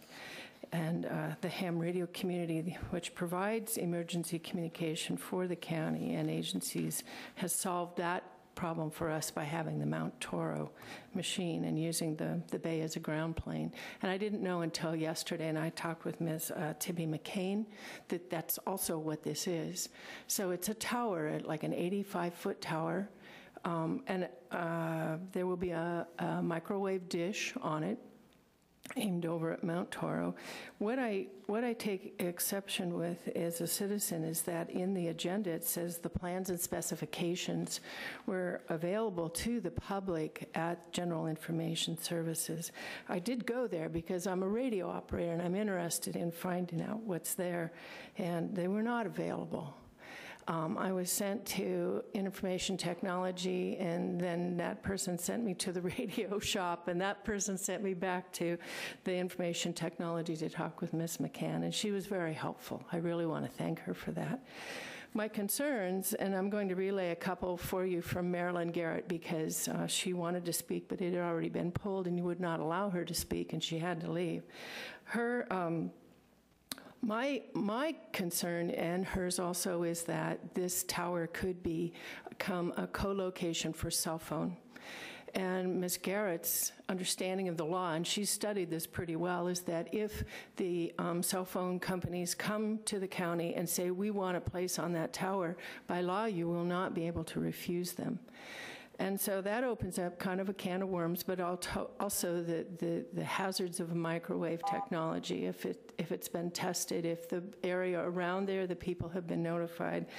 But what a big question I want to bring up here is that um, both Supervisor Friend and Coonerty, you are um, stockholders in a company called Predpol, Predatory Poli- uh, Predictive Policing, that will benefit by this.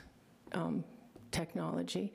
And Supervisor Friend, you sit on a board and take money for doing so with Yardarm technology, which relies on this kind of uh, communication, cell phone in particular.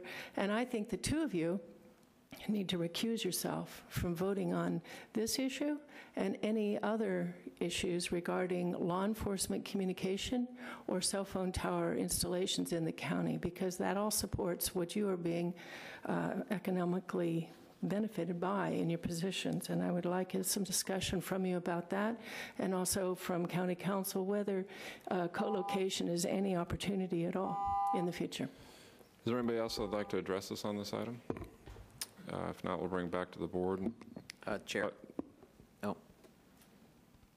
Sheriff Hart. Good afternoon, Board. Jim Hart, County Sheriff. Just real quickly, uh, this this radio tower is going to provide some much needed radio infrastructure on the North Coast that we lack right now. And sometimes we're not, don't have the ability to communicate at all. Um, my office, which is the uh, primary user of this uh, tower, does not have a contact, uh, contract with Predpol or Yardarm, so there's no conflict uh, from the sheriff's office point of view uh, in this at all. And it's really about getting radio communication to better serve the North Coast. Thank you. Supervisor Leopold. Uh, thank you, Chair. You know, the issue of uh, public trust in elected officials is a serious one, and, and we should take it very seriously.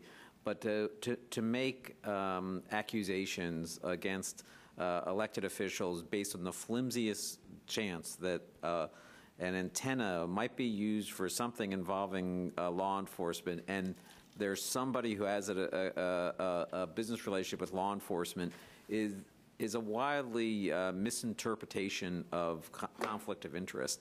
And we have a responsibility um, to uh, listen to issues fairly, um, and uh, we, we, take concerns seriously. But uh, to, to ca- carelessly and callously accuse uh, elected officials of of uh, not operating in the public interest and somehow having a conflict of interest on as flimsy uh, a connection as is here, I, I, think is wrong. And, and, and uh, uh I uh, trust that we, we all f- fill out uh, uh, 700 forms so people know what our um, yes, um, investments are.